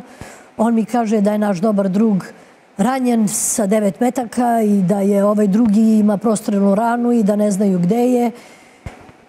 I onda ja uspem da nađem broj telefona preko drugova od Amira i, kaž, i čujemo se i on kaže ne brini se, nije to ništa. On je uvijek tako minimizirao. Ima povredu, ima neko iščašenje, ima bilo šta u nekom poslu. On je, on je ta, radio samo zlatare i ako ne može uveče, onda za pauzu. Ako, on je jedno tako pošteno stvorenje i divno bio i, i bio, kažem, živo je na 200 obrtaja. Kako ti njega zatičeš? Ja ga zatičem sa, preko telefona sa prostrelnom ranom nadko, nadkolenice. Ja mu kažem kako on to da leči i tog popodneva se on predaje. Zato što mu je advokat obećao po nekim izvorima da će da, da, da njega oslobode i da dobije minimalnu kaznu. On se predaje zato što odgriže savjesti zato što je ostavio najboljeg druga da iskrvari. Izvinite, ja, meni je mnogo teško što, što je taj moj drug ubijen, zato što poslije toga svih ovih godina mi se nismo ni čuli, ni videli. Ja sam otišla uh, svojim drugim životnim putem, prestala sam da radim to što sam radila, prestala sam da se viđam sa tim ljudima, prestala sam da se čujem, tako da smo mi pogubili kontakte, ali... Ti si bila zaljubljena u njega? Pa, mi smo se i dopisivali. Ja sam bila u zatvoru, on je bio u zatvoru. Mi smo pisali tako jedna divna ljubavna pisma. I, i celo Užice je znalo da, da se mi volimo, ali mi smo imali tako neku divnu platonsku vezu preko tih pisama. On je uh, mnogo osuđen, e, mislim da je dobio bio devet godina. To što mu je rekao advokat da će on da bude ubrzo oslobođen, ništa to nije bilo tačno. On je svedočio da, da, da taj njegov najbolji drug u tom trenutku ništa nije kriv, da to niko nije pucao. Međutim, njegov najbolji drug je bio ranjen sa devet metaka. Damir je imao samo prostrelnu ranu kroz, mislim, samo, kao da je to malo. Srećom od tih gosti u tom kafiću niko nije bio ranjen. Šta se zapravo desilo? To je bila neka glupost. Oni su se tu nešto sporečkali oko nekih oko neke gluposti, oko nekog auta, oko nekih para, oko, oko takve neke banalne stvari. I tu, tu je počeo, tu neki momci što su se sa, njim, e, sa njima ušli u konflikt, oni su se naoružali, došli u taj kafić i počeli da pucaju na njih. I to su leteli rikošite na sve strane.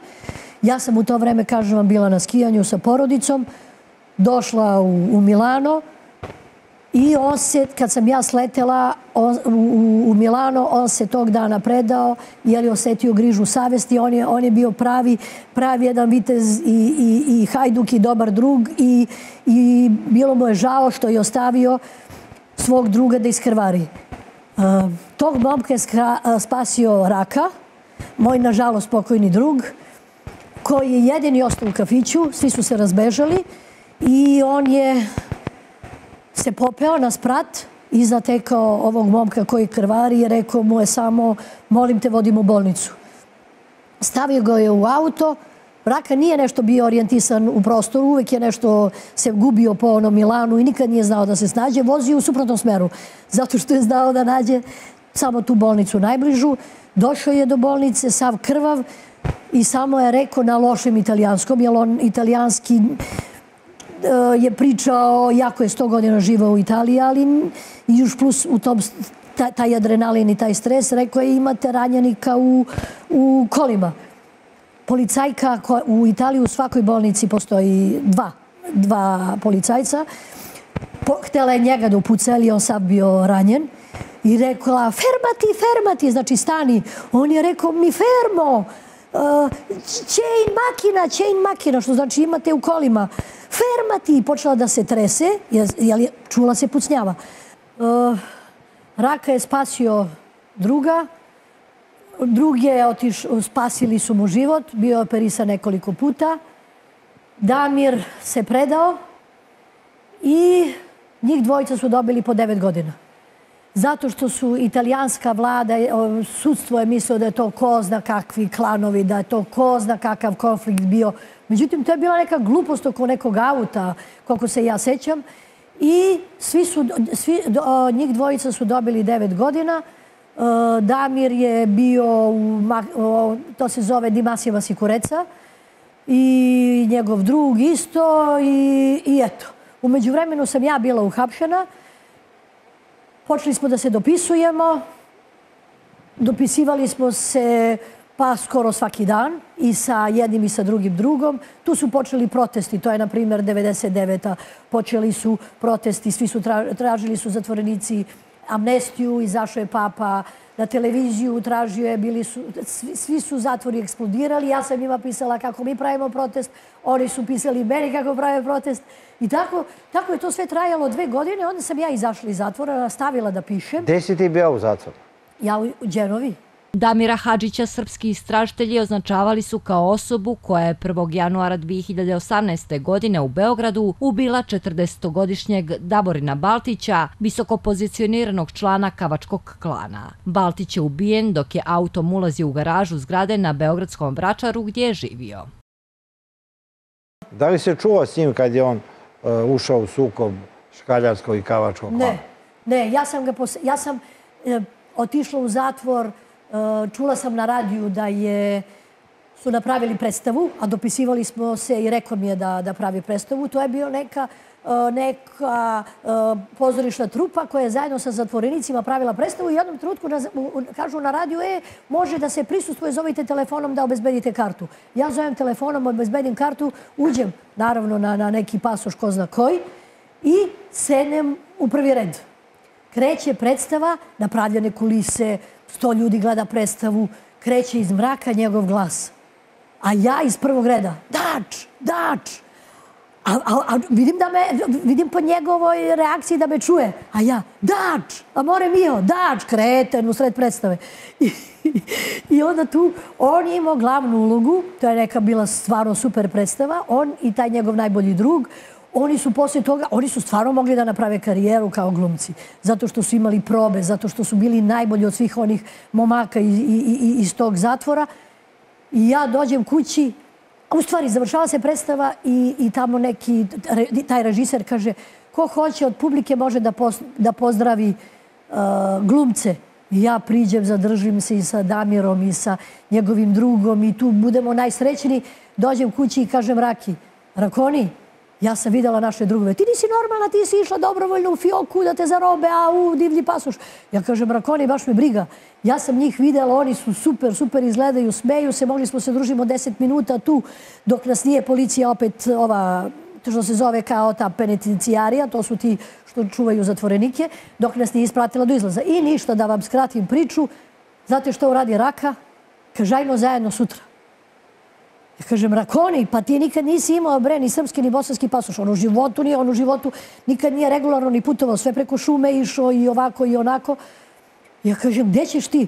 On kaže, idemo, idemo, Eva, ajmo zajedno.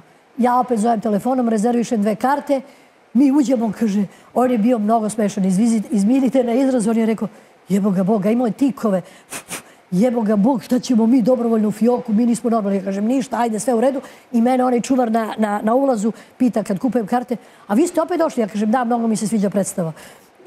a predstava je trajala dva dana, da može da gledaju ljudi izvana.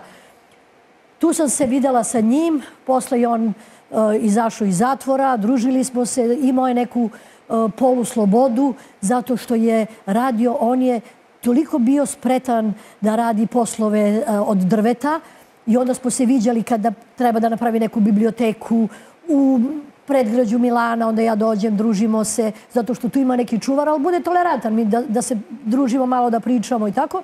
Onda su ga puštali na 4-5 sati, onda je završio to, odležao sve što je trebalo, onda smo se videli par puta u Užicu i onda sam ja Onda on to menjao brojeve telefona i sve. Jednom sam videla njegovu majku kad je postao otac. Čestitala je gospođi, jedna divna gospođa uh, koja je, kad je on došao posle...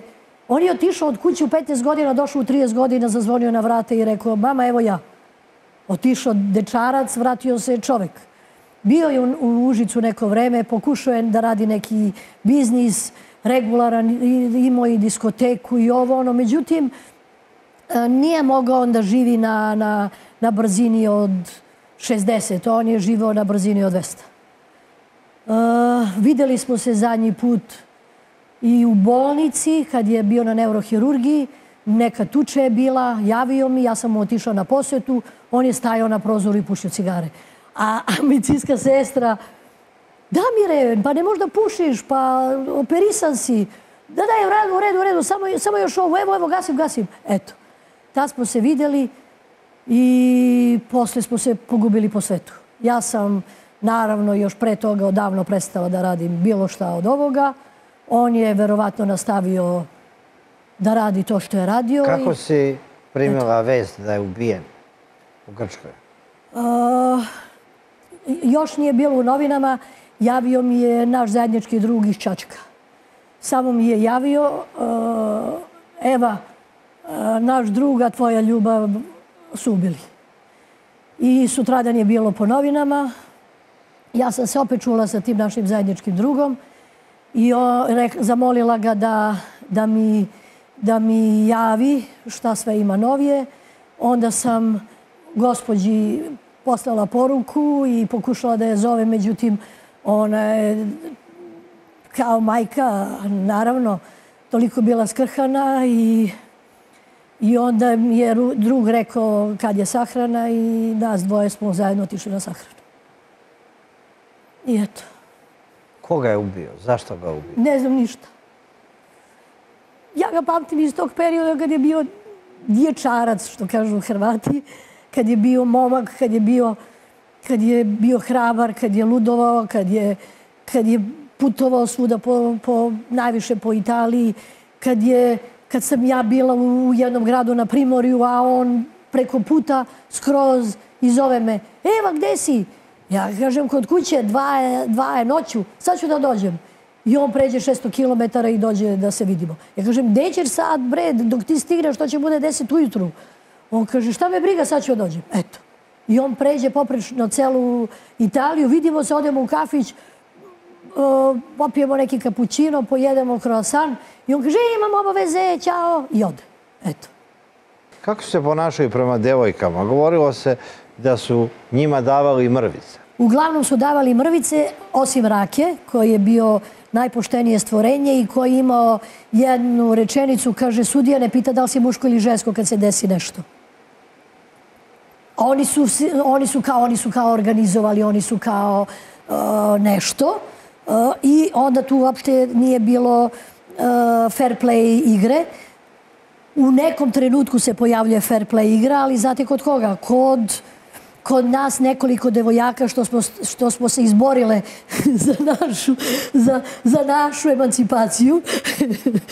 Znači ti si spasla žensku čast u kriminalu. Nisam, ja sam spasla sebe. da, da, da mi ne daju mrvice, stvarno je bruka. Da, da, da kao sad su oni kao mangupi, a ti si kao tu nešto... Uh, da zamajavaš gazdu. Da zamajavaš gazdu, a kad, a kad, kad te zarobe... Uh, I ti ideš isto, u zatvor. Ideš i ti u zatvor. I kao sad ja sam zamajavala njega, on je kao uzeo, stvarno svaka čast, on je uzeo, ali ja imam isto odgovoran deo posla. Ili da zazvonim na vrata, a da on treba da, da istrči sa dva sata. Ja da bi ovu mogla priču da ispričaš pod punim imenom i prezimenom? Ne. Da li možeš da pređeš bilo koju evropsku granicu? Sve mogu da pređem. Tvoje ime nije sumljivo. To što je radila, to su radile neke, neke druge. druge. Neke Čehinje, Slovaki. Slovenke, Hrvatice. Mislim, ne, ne, ja sad ovako iz ovog aspekta pričam... Na svoj pasoš ni čačkalicu nisi ukrao. Ništa. To je takav, sticajem okolnosti smo mi morali da uzimamo te pasoše, zato što kao Srbi nismo mogli da putujemo. A to te je sad spaslo?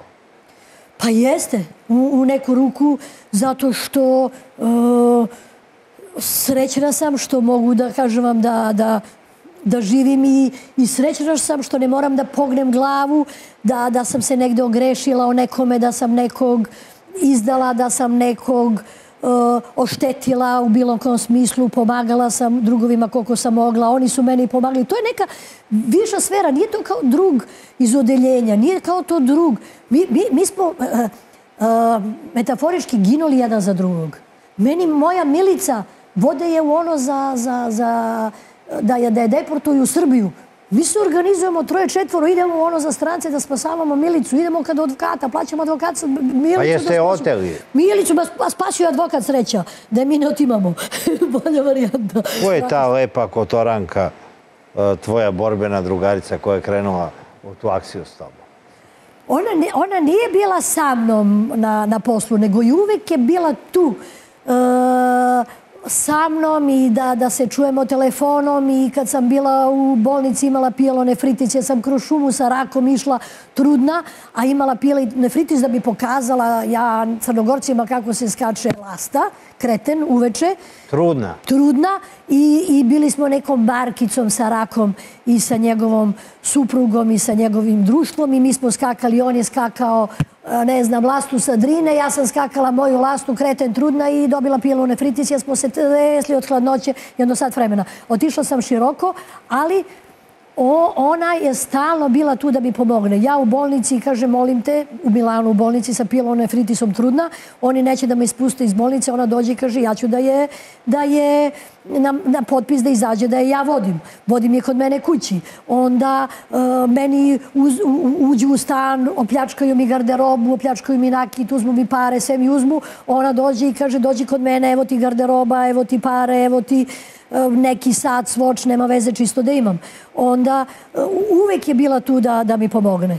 To je moja drugarica iz Kotora koja i dan danas živi u Milanu, ima porodicu, ona već odavno ne radi te poslove što je radila i ima čerku, jednu mnogo lepu devojčicu koja je, znate šta, najzanimljivije, što je moj čerki drugarica. Ovdje opisuješ neke scene kad je se zaljubila u jednog što je najbolje glumio Mangupa? Taj je najbolje glumio Mangupa, a on je meni bio tako antipatičan. Ovdje ga opisuješ i e, kako je obučen i kako trenira i, pa i, gubi dane po kući. Da, on tu glumi nešto, trenira, radi sklekove, e, radi trbušnjake, a ona ide, rizikuje svaki dan, a onda on joj kaže, pa evo sad, sad ću ovaj posao da završim, samo, jel mogu da uzmem malo ne, ne, ne, od tebe? A ona kaže, pa uzmi slobodno. On je posle toga stvarno i radio ozbiljne poslove i sve, ali u tom trenutku on je meni tako antipatičan bio, zato što ja znam da ona svaki dan je rizikovala, a on trenira nešto kao da on tu bude lepko Allen Alen Delon i da, bude, da ima trbušnjake ko, ko pločice, a, a ona svaki dan ide i rizikuje. A on ode jednom u četiri dana. I nešto tu smota sandvič i ne znam ja gluposti. Ne, šalim se. Ali tako, nekako, ja sam ga malo prezrela tada. Bilo mi žao, bilo mi žao. Ali više pišeš e, o ljudima sa simpatijama nego s prezirom. Pa ne znam, tako vreme bilo. Poslije sam ja se i sa njim družila i ja to njemu naravno nikada nisam rekla i I, I onda sam i njoj, kad se cela ta epizoda, oni su se nešto kratko zabavljali. I kad sam ja rekla šta ti bi bre milice da, da, da ideš sa onom udalo, ona kaže, ma nemam pojma, nešto sam se sitno zaljubila, otku znam. I posle su, oni su se vrlo kratko nešto zabavljali.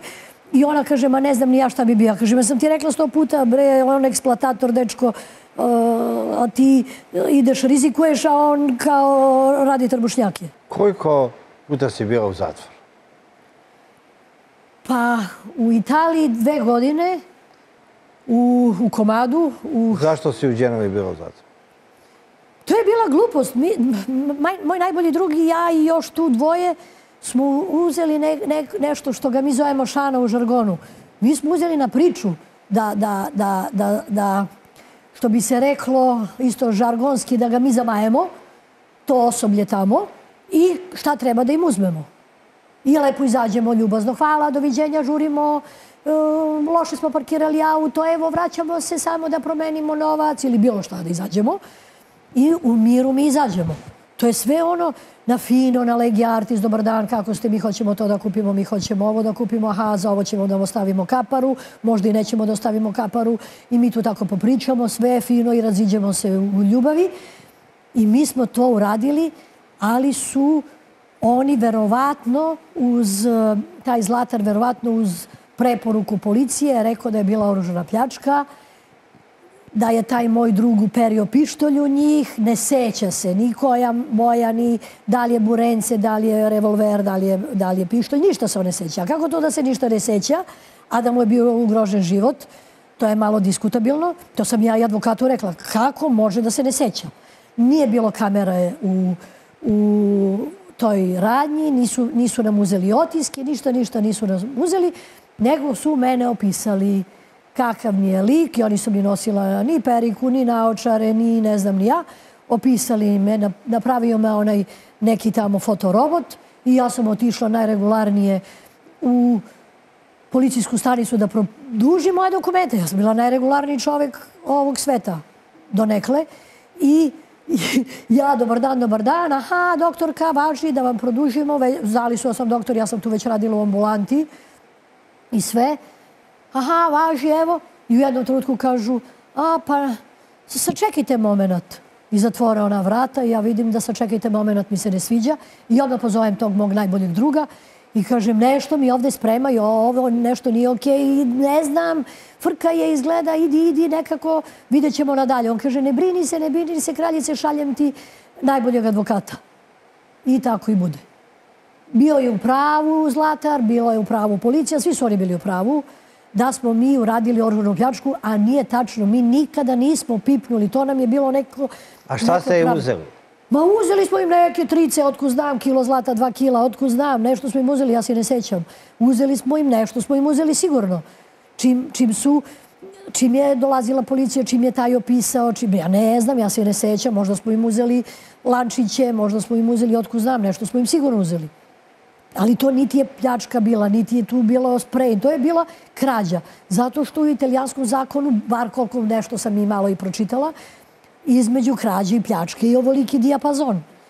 Krađa je nikog ne pipneš, nikog ne ugroziš, nikog ne nikog ne rizikuješ, ništa, dobar dan, kako ste, i, i, i uzmeš nešto. I oni te kasnije ukapiraju da smo mi uzeli nešto. I oni tu bukvalno mene e, zarobe i ja sam ležala oruženu pljačku. Ja sam i rekla advokatu, ja hoću da priznam, mi smo uzeli, jesmo, ali hoću da priznam krađu. Jesu mi svi drugovi i drugarice na slobodi? Jesu, dobro. Ja sam ja jedina bila kao regularna Ko je bio s tobom u zatvoru? Je bilo interesantnih ljudi? Pa bila je jedna crnogorka, ona je bila super simpatična. Ona je tu nešto imala dva metra, imala kosu kao Brigitte Nilsson.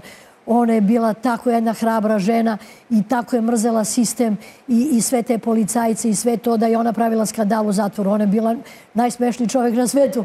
Ona kaže, uh, tu su već znali i posle mi je izašlo i pravo ime i sve, su mene uhapsali pod nekim isto imenom, ko zna kojim. I onda mi izašlo ja, Eva, Alijas, ta, ta, ta, ta, ta. Ja kao, ja, Alijas, to su kao nešto, otko znam, na, na te otiske što je svašta poispadalo. I ona kaže, Eva, puštaj vodu u lavabo. Ja kažem, što? Ona uzme, baci deterđent na pod od ćelije i onda ta voda ide ispod, ispod te ćelije i onda neko počne da se dere. A! I, I one čuvarke nešto misle njoj nije dobro i onda počnu da se klizu i da padaju i ona vrišti u smeha. Ona je bila totalno luda. I si razmišljao u zatvoru da si ipak doktorka, da si krenula pogrešnim putem? Kad budeš izašla iz zatvora, nikad više nećeš biti u sličnoj situaciji. Prvo sam bila mnogo uh, gnevna što su mi, što su mi uh, re, što su me optužili da sam radila oružanu pljačku, što nije fair. Uh, advokat je rekao da veruju i Zlataru i sve više nego meni. Nikada nisam bila do tada osuđivana. Svi su znali da sam doktor jer mi je stigla doktorska diploma. Tamo sam bila vredna pa sam završila za zubnog tehničara zato što su mi priznali ispite sa fakulteta i trebalo da polažem uh, praksu, da pravim, da modeliram te zube interesantne i to je bilo mnogo lepo od voska i to. I polagala sam e, italijanski i istoriju i geografiju. A ove sve medicinske predmete su mi priznali. Ja sam tu za te dve godine završila da budem zubni tehničar. Od lekara do zubnog tehničara nema veze. U jednom trenutku mi je bilo mnogo teško, zato što su te devojke uh, uglavnom narkomani, uglavnom funkcionišu sa pola mozga, uh, po pravilu imaju dva i po zuba, uh, većina se prostituiše da bi zaradili za drogu. Mislim, ja niko, nisam imala protiv nijedne od tih devojaka. A, niti sam sa nekim ulazila u konflikt, niti ništa. Gledala sam svoja posla, trčala sam po toj šetnji, radila jogu, igrala odbojku sa jednom devojkom koja je znala odbojku da igra. Te neke napolitanke koje su bile super, hrabre i, i odvažne i nisu bile narkomani, nego su radile ozbiljan kriminal. One su me zagotivile, ja sam sa njima pričala. I, znate, kad sam se najgore osjećala, u jednom trenutku stave me da budem sa nekom devojkom koja je, koja je volela žene. I ona je u startu nešto pokušala. Znaš, žena bolje ženu razume. Ovo ona sam rekla, znaš šta, mi Srbi, to smo mi malo više antički. Ne znam da li svi, ali ja ništa, ja tu nemam ništa sa ženama. Možda bi budu žugarica, ali ništa to... Ona kaže, znaš šta, žena u nekom trenutku sa sazrenjem, bla, bla, nešto, ono, tu priču. Ja kažem, ništa, aj ti polako. Ona imala devojku kod kuće. Sa, ona je bila, kako se kaže, legitimna. Ona je volela devojke, imala je svoju devojku kod kuće, a imala i devojku tu što joj pravi neku tortu, što joj deždam i to. I što se one vole na šetnji i drže za ruku i tako. Ali e, sa mnom je upakovali u ćeliju, to jest mene kod nje. I ona tu, au, au, ja mene je bilo strah u početku, kažem da me ne napadne ona noću, otku znam ja, moram da se bijem, da, da, otku znam, ja tu sa njom sve na fino. U jednom trenutku ja igrala sa tom devojkom odbojku koja je bila prostitutka, pa je nešto zabrljala, otku znam, tela do pljačka nekog klijenta, pa su ju hapsili. A ona je jedina znala da igra dobro odbojku. A ona je bila s Kosova. A mene baš briga što je s Kosova. Albanka. A, pa Albanka i nije htjela priča srpski. A nema veze, mi pričamo italijanski, meni je bilo važno što ona zna da igra dobru odbojku i što je u glavi super i što je u stvari sportski tip. I ja sa njom šetnja, trčim, trčim, radim jogu, nešto kao ovo, ono i, imamo loptu na, na, na šetnji. Niko ne pipa tu loptu osim nas dve. I mi igramo odbojku, nas dve same, pa onda ne znam. E, bilo šta radim, najčešće odbojku. A ova se posvađala, ta što je sa mnom u ćeliji, sa njom. I jednog trenutka na zatvoru u pet popodne i drže nas zatvorene do, do devet ujutru. Najgore na svetu. Još leto, kad je ono dan do, do 11 uveče, ti si zatvoren skroz sa, sa, sa poluludom italijankom. I ja čitam knjige, masu, masu knjiga sam pročitala i zvali me Šumi Šumacher. Tad je Šumi bio mnogo popularni, ja sam stalo trčala. Tu kodao za olimpijadu da sam se spremala za, za srednje duge staze. Svaki dan, pet sati šetnje, ja trčim. I oni šumi, šumi, jer niko nije skoro ni znao kako se zovem, nije bitno. I ona meni kao, šumi, šta ti pričaš sa njom, igraš odbojku? Ja kažem, a što? Ne znaš ti da ja s njom ne pričam? Ja kažem, pa to je tvoja stvar što ti s njom ne pričaš. Pa ti i ja smo zajedno u ćeli. Ja kažem, on je tvoj neprijatelj, nije moj neprijatelj. Jeste, ali ona je iz Kosova, ti s njom, ovo, ono igraš odbojku. Kažem, šta me briga, bre, možda bude i Albanka iz Kosova, to mene ne interesuje. Ona je super za druženje. I, i, i jedina što, što, što ima mozga u, u, u kompletu, da, da, da da mogu s njom da, da radim sport. I ona meni kaže, ma tu se i una Serba di ma. Vulgarno da ne budem, ti si kao G srpkinja. A ja poludim, uzem neki daljinac, gađam je u glavu, tu se raspršti ono na hiljadu, oni dugmići se razlete, ona počne da vrišti, a ti si me gađao. Kažem, ne bre, ko te gađao? I ona, a ti si mene gađala. Mnogo glup, mnogo odvratna priča, ali čujem korak ide ta čuvarka i ona kaže, a Eva me je gađala. Ja kažem, ne, ja čitam knjigu. A, i nju odvedu tamo na saslušanje, dovedu mene. I ona, ti si Mirnos, a ja ću tebi tužbu privatnu. Ja kažem, a ne znam, bre, ja te ne znam, ne poznajem te devojčice, bre, uopšte ne znam ko si. Međutim, mene tu prebace kod jedne male robkinje, po kazni, kod koje niko nije teo da ide zato što imala vaške na sve strane. I šta ću? A ona je super devojčica bila. Šta će dete siroto? Ona radila, džeparila, ali je tog nekog tamo klijenta uzela za ruku. Daj mi dva dinara, daj mi dva eura.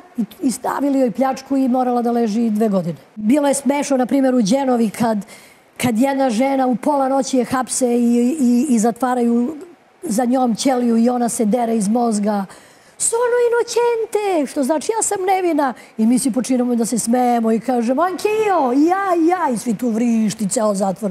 Ja sam nevina, vrišti. Ta je bila jedna iz Napolija, mnogo smešna. Bio je momak iz Podgorice. U Podgorici imaju specifičan humor.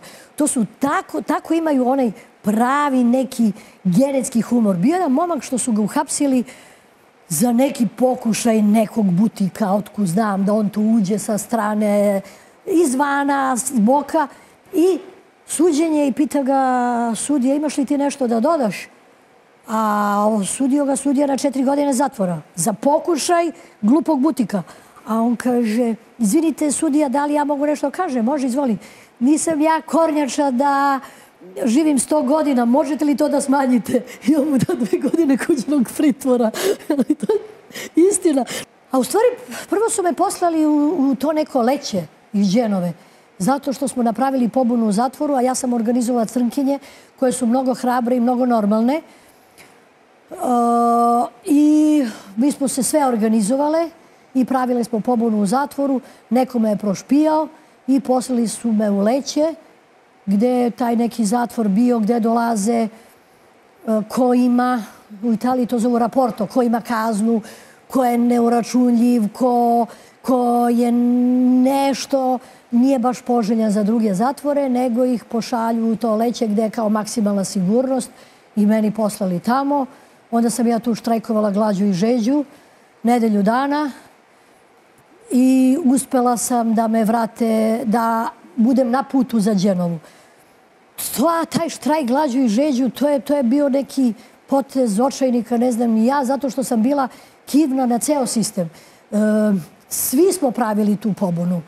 E, sve to, ceo zatvor, cela Italija, svakog dana je bilo na vestima ovaj zatvor eksplodirao e, u metafori, e, pobuna ne jedu, ne piju, ovde neće advokata, ovde pale čaršave, ovde papa izašao u zatvore Bibija i traži indulto i amnestiju za zatvorenike zato što su prenatrpani zatvori kao što su sad.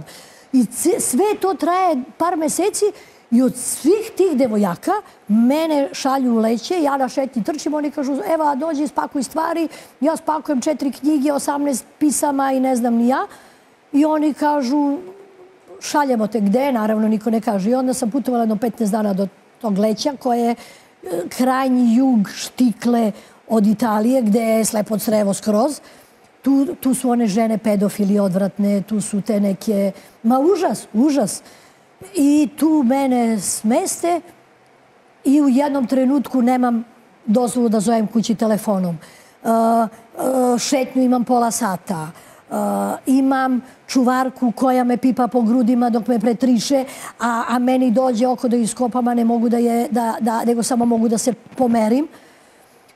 Imam poluludu ruskinju u ćeli koja puši i ja non stop otvaram prozor.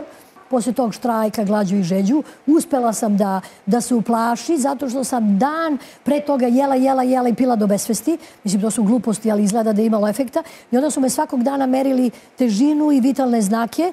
Šestog dana, pošto nisam pila više vode, smršala sam 9 kila. Mada je to bilo puno te hrane i vode što sam pila prvog dana i nisam htjela da idem u WC da bi se oni uplašili. Ja stvarno gubila sam svest na po 15 minuta zbog te vode. Uplašila sam se za, za bubrege, za bubrege, za, za...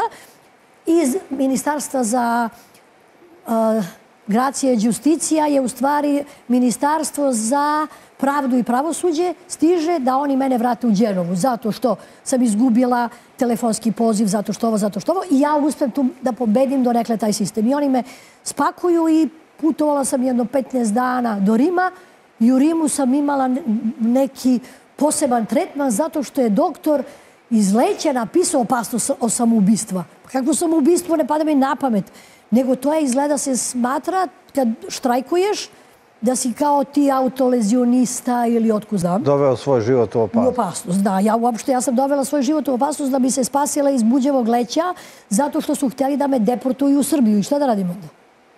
Tako posle mnogo komplikovano da se ja vratim u Italiju, osuđivana sam, niko neće mi da vizu, treba da idem kroz šumu, a da se vraćam, mnogo komplikovano.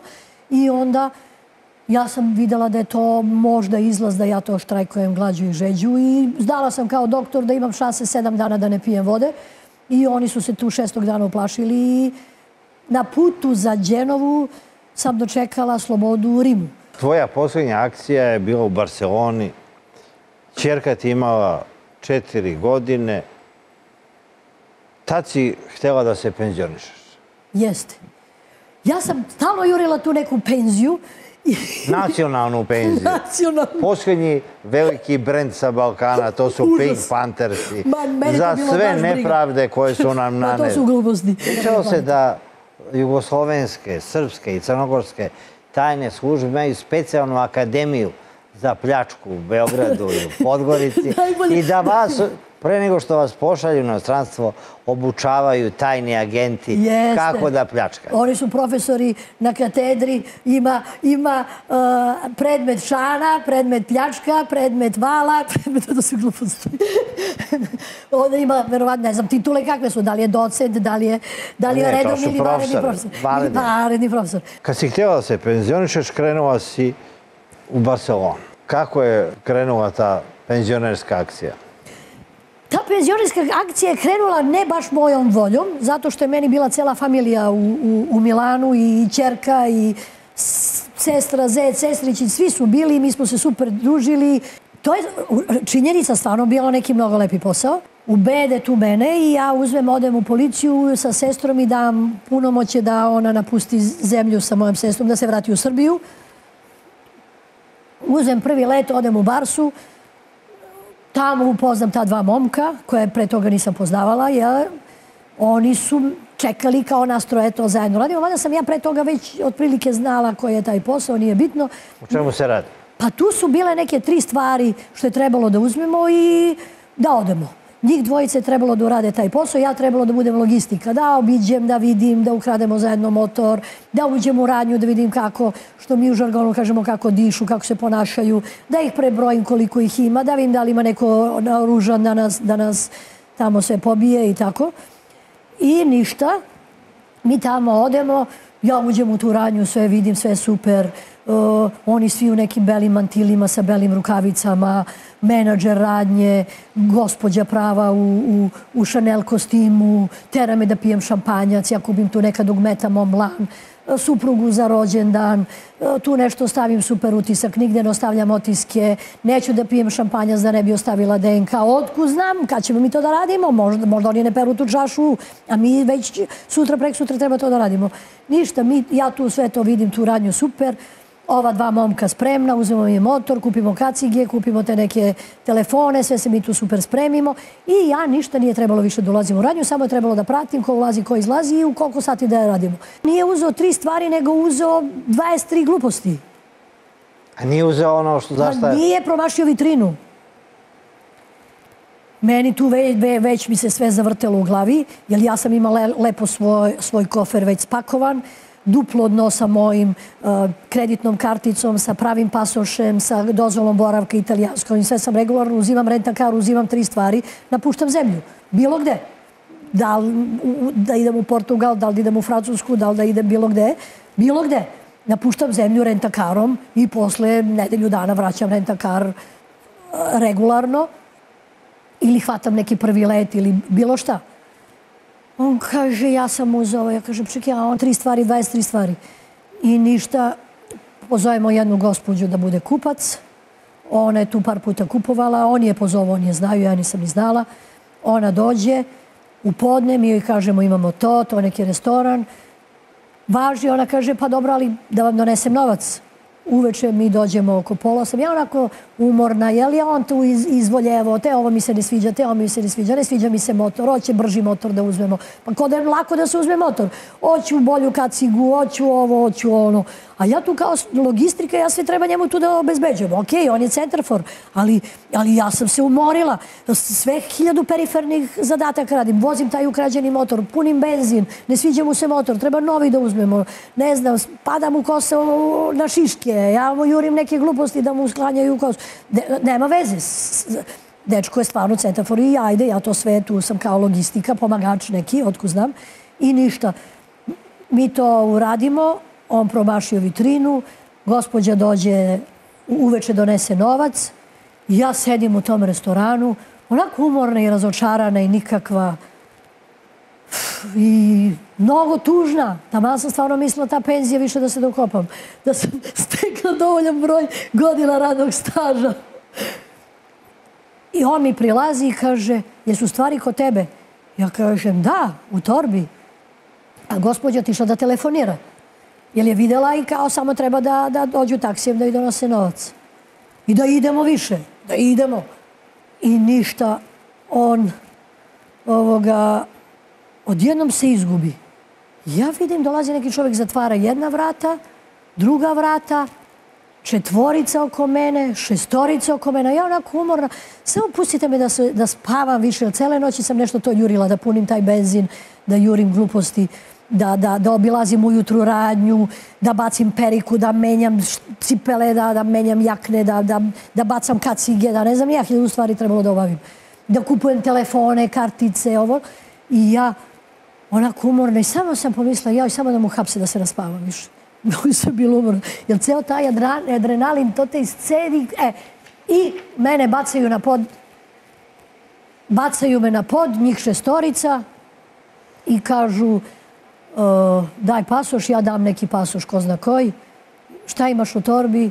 A ja u torbi imam kesu puno tih satova i tog nakita sa sve cenama.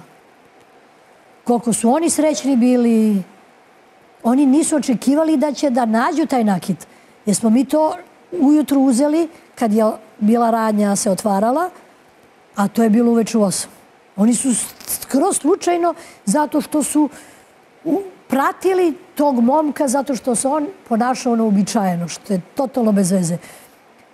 Išao u Budabar, naručivao pića, šampanjce, plaćao muzikantima po 50 eura u, u skupom restoranu.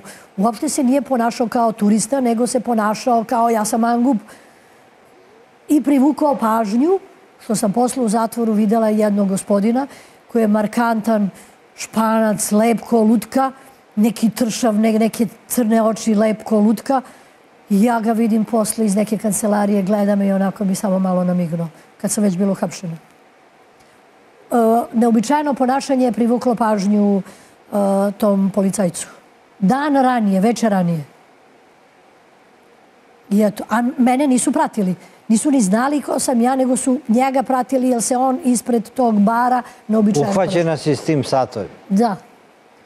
Koliko si dobila? Dobila sam šest godina, ali u Španiji, kad to se zove kao konformatorija, što je kao priznaš delo, ali nikog ne pričaš drugog, tu su bila ta dvojica što se zovu Prle i Tihi, na, na tom što sam, što sam potpisala, ne znam i ja. I, I advokat mi je predložio da priznam delo, da ću da dobijem šest godina, da ću dobiti kaznu na pola tri godine, da ću imati suđenje na godinu dana i da ću dve godine morati da platim i da mi bude uslovna kasla. Gde si bio u zatvoru? u Barceloni. Je bio neko naš u zatvoru? Bila je jedna simpatična Romkinja koja je, preko nje sam uh, pisala pisma familiji, zato što sam ja imala u toj Barceloni um, nešto kao jedna što je bila gospođa, što je bila ETA. Ona, njoj je bilo pa, uh, kontrolisano posete uh, i pošta i pisma i telefonski razgovori. Bila je jedna anarhista i bila sam ja. Što nikome nije jasno zašto meni slušaju razgovore, zašto meni prate poštu, a u stvari meni je došao simpatični Amsterdam. Gdje su ti povezali Amsterdam? Pa povezali mi. Povezali mi notiske. I onda sam se ja tu najviše uplašila. Mislila sam da će, da, da, da će kao da kad završim Španiju da me, da me šalju u Holandiju. Zato što su, pitala sam advokata šta sad, on kaže mi to ne znamo. Ti kad završiš delo ovde, mogu da te puste na slobodu, mogu da te deportuju u simpatični Holand. Gde bi se javila sestra i rekla da je sa tvojim čerkom u Nišu. Da, i meni je bar tu pao kamen sa srca, jer je opet čerka na sigurnom. Ja kako se šta desi, ja važno da mi čerka na sigurnom.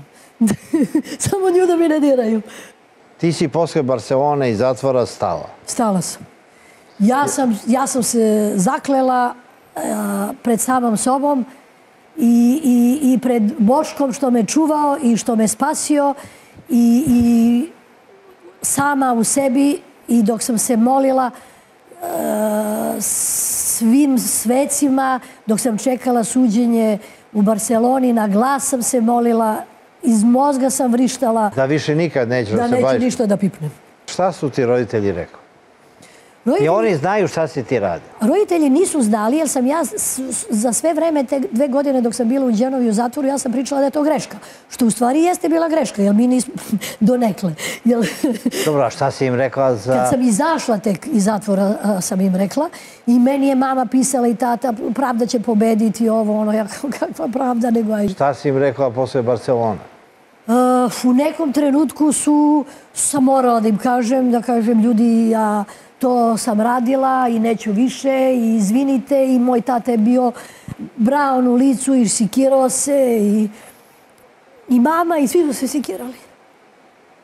I, i moja kuma i kum i, i, i, i onda sam ja znala da se oni svi sikiraju, ali meni u stvari najteže. Sam ja prima violina u celoj priči, ali mi za njih mnogo bilo teško.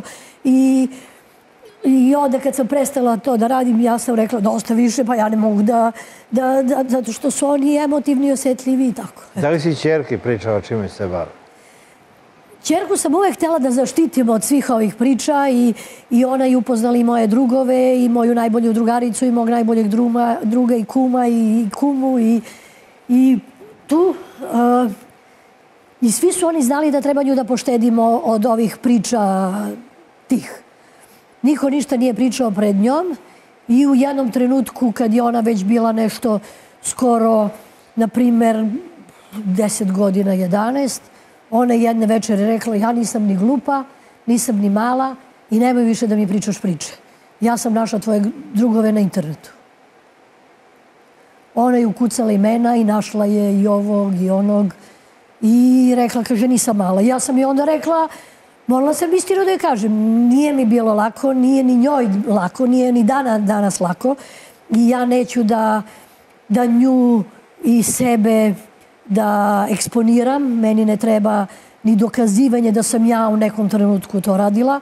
Tako je vreme bilo. Neću ni da, la, da, la, da tražim opravdanje u sebi. Ja, ja sam u tom trenutku krala i to je, to je bruka.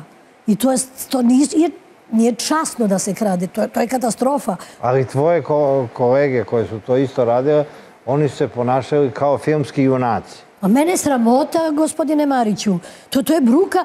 Ja žensko da kradem, doktor iz, iz, iz jedne ugledne familije i meni nije bilo nužno da kradem.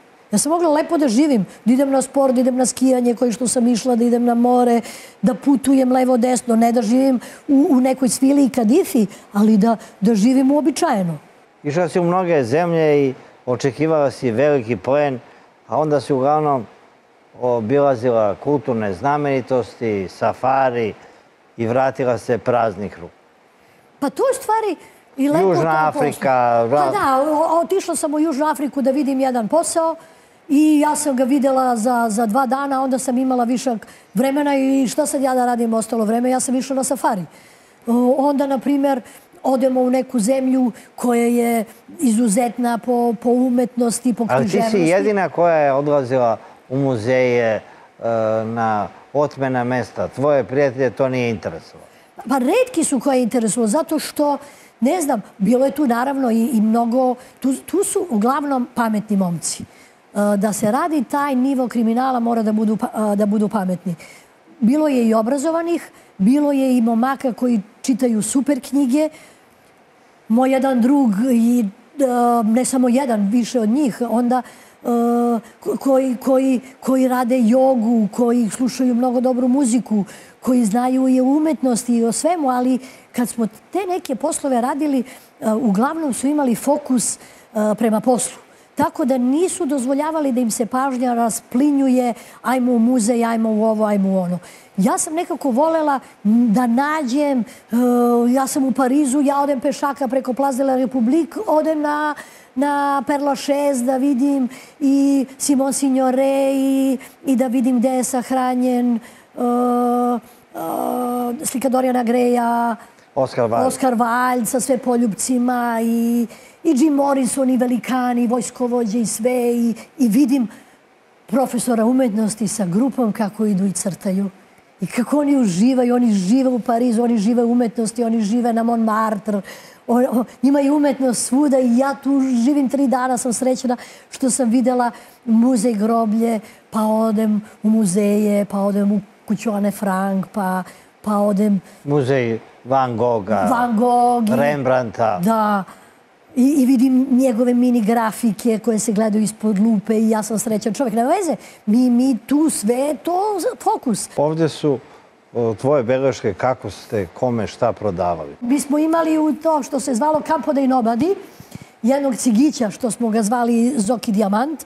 I onda kad mi to nešto uzmemo, mi zovemo tog Zokija Diamanta koji je bio cirkus. On je sa porodicom prvo živeo u, to se zove rulot. To je kao prikolica. On je bio kao tri praseta sa porodicom. Raja, Ciganska čerga. Pa da, ali ne, ne kuća od slabe, nego nego prikolica, prikolica. I on je tu živao sa porodicom i to je cirkus bio i onda smo mi tu njemu prodavali, a onda kad mu donesemo neki rakit, on dođe i kaže gospođa, sačekajte da ide da otkopa pare. I a pare su zakopane? Zakopane u nekoj njivi, otko znam. I onda mi ga čekamo jedno pola sata ovo ono i meni se u jednom trenutku ide do toaleta. Ja kažem, mogu ja do toaleta? Kaže, može. Ja odem tu negdje, ona me odvede, ja uđem u toalet, a ono ogledalo i sve versaće, mali parfemi i to, ali nigde nema toalet. Ja kažem, dobro, super, sve toalet, ali ja bi stvarno da idem toalet, aha, dobro, evo tu njiva, ja ću ti čuvam stražu i tako. Mislim, oni su cirkus živi bili, mi smo njemu prodavali, ali on uvek imao ne, nekog sigurno nakupca, ali on iskopa iz neke tamo njive, otko znam, oni su cirkus bili. On je na kraju kupio vilu. Na kraju je kupio vilu, ali je sve to bilo blizu i on je bio, kažem, kao tri praseta iz toga, iz kuće od slame do brvnare do, do kuće sa, sa ciglama. Ali mentalitet isti, duhovit, smejali smo se, onda on dođe, bude svadba, on nazvao i na svadbu, veseli se, kupili mladu 150.000, mlada treba da krade sad za drugu familiju, on cepa pare, gospođa lepi selo te pompare, što su veseli cepa pare, onda, onda on to nama plaća tim cepanim parama, zalepljenim. Ma cirkus, onda tu nešto zidaju, onda ne znam, ne, na Đurđevdana da zvali, ma, eto, sa njima smo se družili, u nekom trenutku smo napravili jedan super posao, ja to nisam e, vama rekla, evo sad sam se setila tog nekog super posla, gde smo mi mislili da je to sve pravo kamenje i da će sve to tu, tu da bude, ne znam, Raka i ja, pokojni nažalost. Raka i ja uradimo to nešto i on kaže, evo za šta, ja kupujem hotel Nazur Obal. Ja kažem, ja kupujem diskoteku u Barceloni. A on kaže, ja kupujem, ne znam ni ja. I mi njega pozovemo i on dođe i vidi na stolu sve to blago i kaže, a, ali ja nemam ovo da platim. Ja mu kažem, ne moraš sve da uzmeš. Uzmi par stvari koliko imaš. onako, i uzme onu njegovu makinetu, što mi zovemo za, za kamenje, a ono, draguljar sve stavio, zlato jeste, ali sve stavio neko šareno kamenje bez veze. I ništa od diskoteke u Barsi, ništa od hotela u Razornoj obali. Eto. Njemu smo prodavali, bio tu neki par italijana što su isto bili neki nakupci. Mene to, ta, to nije baš toliko mnogo interesovalo, zato što su ti momci uglavnom bili pošteni. Ne svi, naravno. Bilo je tu i, i momaka koji imali smo anegdotu kao gde je plavi kamen pa u more, gde je beli pa u sneg, gde je zeleni pa u travu, pa gde je, pa ne znam zašto izgubio mi se u džepu ovamo, namo, progutao sam, pa nema ga, pa jaj, poplašio sam, bacio sam, e, bilo i takvih. Ili jaj, zašto to što smo uzeli nije to to, znaš to ja, bilo i takvih. Ne mogu ja sad sve da pričam ovo što se kažu hvalospjevu. Najsmešniji su bili, znate ko, beograđani šaneri koji dođu u, u, u Milano, ove što sam upoznala, i onda drže neki magnet da skidaju te zuje. I onda drže magnet, na primjer, u tom nekom čepu tila i kako prođu, oni se lepe za, za kola, lepe se za gelender, lepe se za, za metale i, i, i onda to cirkus. A najsmešnije je kad priđu do televizora i taj magnet se zalepi za televizor i mogu da ga bacu u kantu za džubre. Jer je to mnogo jak taj magnet koji, koji valjda odlepljuje te zujelice i onda samo vidiš one boje se razliju i ćao. Ili kad je jedan razmagnetisao sve kreditne kartice. Nema, stavio kreditne kartice pored džepa i plače. Ne može ništa da plati. Razmagnetisan. Sve, sve, sve u kompletu. Sve što ima od te kartice, sve mu se razmagnetisali i plače. A, a kartice srpske iz Beograda. I onda traži da mu neko pozajmi da... Srekao si mnoge ljude koji su zabeleženi kao Pink Panthers i o njima se snimaju filmovi. E, mnoge televizije rekonstruišu e, ko su Pink Panthersi. E, jesi ti gledala film Ocean Eleven, 12? Neke akcije tih momaka su asocirale stvarno na to. Zato što se zna... I tvoj prijatelj je napisao knjigu i sa Leonardom DiCaprio sprema film Hollywoodsko Pa ne znam te detalje, to, te detalje on zna. Ja, ja o tome ne mogu da pričam. Ali ja mogu da kažem moje detalje da sam ja u nekom trenutku, kad sam bila u zatvoru u Barceloni, pomislila, čekaj, što ja ovo ne, da ne stavim na papir? Uh, u, u momentu mi je, mi je bilo eh, mnogo teško zbog rakije. Raka je meni bio toliko dobar drug da mi je bio kao brat. I meni je toliko teško bilo što je on stradao i onda mi je u jednom tutku palo na pamet da ja napišem knjigu o mojim drugovima kojih više nema. A onda sam, onda sam vidjela da u stvari ima toliko zanimljivih stvari sa, sa, iz svih tih dogodovština i da tu ima i duhovitih E, momenata i tu ima i takvog drugarstva i tu ima i, i, i ne znam, na primjer, evo sad mi pojela pamet Night klub, mi tu, ja prvi put kad sam otišao u Night Club, nas sedimo četvoro, petoro, spremamo neki posao, ja nosim neki komplet Prada, ali posao nikako da završimo. I, i to traje dva dana, četiri dana, ja kažem, ljudi bre, ja više povodu ovom kompletu Prada, oni kažu, super poslo ti je prada smrada, onda ja tu kao nešto kupujem, neke četkice za zube, ovo, ono, nemam ništa, spavam u hotelu, nemam ništa, ali posle trebalo za jedan dan da završimo. Odlazimo u night i tu neke devojčice, te najterice, džuskaju mi na ruču. Odakle su? Ruskinje, pa, Ukrajina? Pa uglavnom Ruskinje, Maldavija, Ukrajina, čak bile i Estonija, Etonija, ove, e, što su ušle u Evropsku uniju. To su sve fine devojke što, što ne, odlučile to da rade, da, da nešto zarade. Jedna što sam i upoznala te večeri, sećam se dan danas da je bila nezaposleni psiholog. Šta da radi devojka iz, iz uh, Letonije? Lepa ko lutka. Kaže, ja šta da radim, ja sam nezaposlena. I onda one tu džuskaju, tu na nekom podijumu, mi naručujemo drugu flašu i one u istom trenutku se okreću prema nama i igraju prema nama, aha, onda dolaze polako, sedaju za naš to Ja kažem, šta je bravo? Znaš, a ovaj jedan drug mi šapne, kaže, pa druga boca šampanjca. Ono kao sad, sad smo mi interesantni, inače ako pijemo Coca-Cola i ovo, ono, neće li nam priđu. E, to su sve te neke dogodoštine e, zanimljive, onda to nešto, moj jedan drug uradi neki semirski posao, ode 15 dana bude u kanu, sa tim najtericama i sve potroši. Znači, on je stvarno bio egzemplar. Nema ga 15 dana, nikome se ne javlja. I onda luduje to čašćavat, uh, eh, ide u najtove, ide u onaj kazino Monte Carlo, ide tu Jimmy's neku diskoteku gde idu ovi što voze Ferrari, on tu skroz poludi, se potroši i kaže, znate li neki poslić, evo ja sam se vratio. Sa Rakom ja imam non stop neke događaje. Polazimo nas dvoje na slovenačke pasoše, ja trudna i kažem, Rakoni me zove, da se vidimo. Gde? Kod, kod Vladike u teatar, u, u taj kafić gde smo svi dolazili. To je vama zborno mesto bilo. Pa, to je na Breri u Milanu. E, da. Otprilike tu, tu smo se vidjeli. Gde ćemo kod Vladike, tako smo zvali. A, a taj gospodin je bio ženjen, nažalost, na, za pokojnu gospođu koja je preminula od karcinoma i ona je držala taj bar. I oni su se venčali, mi smo svi tu dolazili. Kad neko nešto, nešto zaradi, onda on tu časti celu vojsku, onda tu se vidimo u pozmu. Tu su dolazili italijani koji su se sa nama super družili, imali smo brove telefona od njih, tu su nam dolazili ti neki italijani jataci, imali smo restoran gde smo izlazili, ostavljali smo cifru, ali nam je taj također jatak italijan čuvao ako treba i on ove pasoše, čuvao nam ako treba i neki nakid. Tako smo mi nekako živeli ležerno, kao mi smo sad tu neki kao mangupi. Pa nema veze. I mi u tom bariću eh, šta, a, sedimo i on kaže ja hoću da idem na more.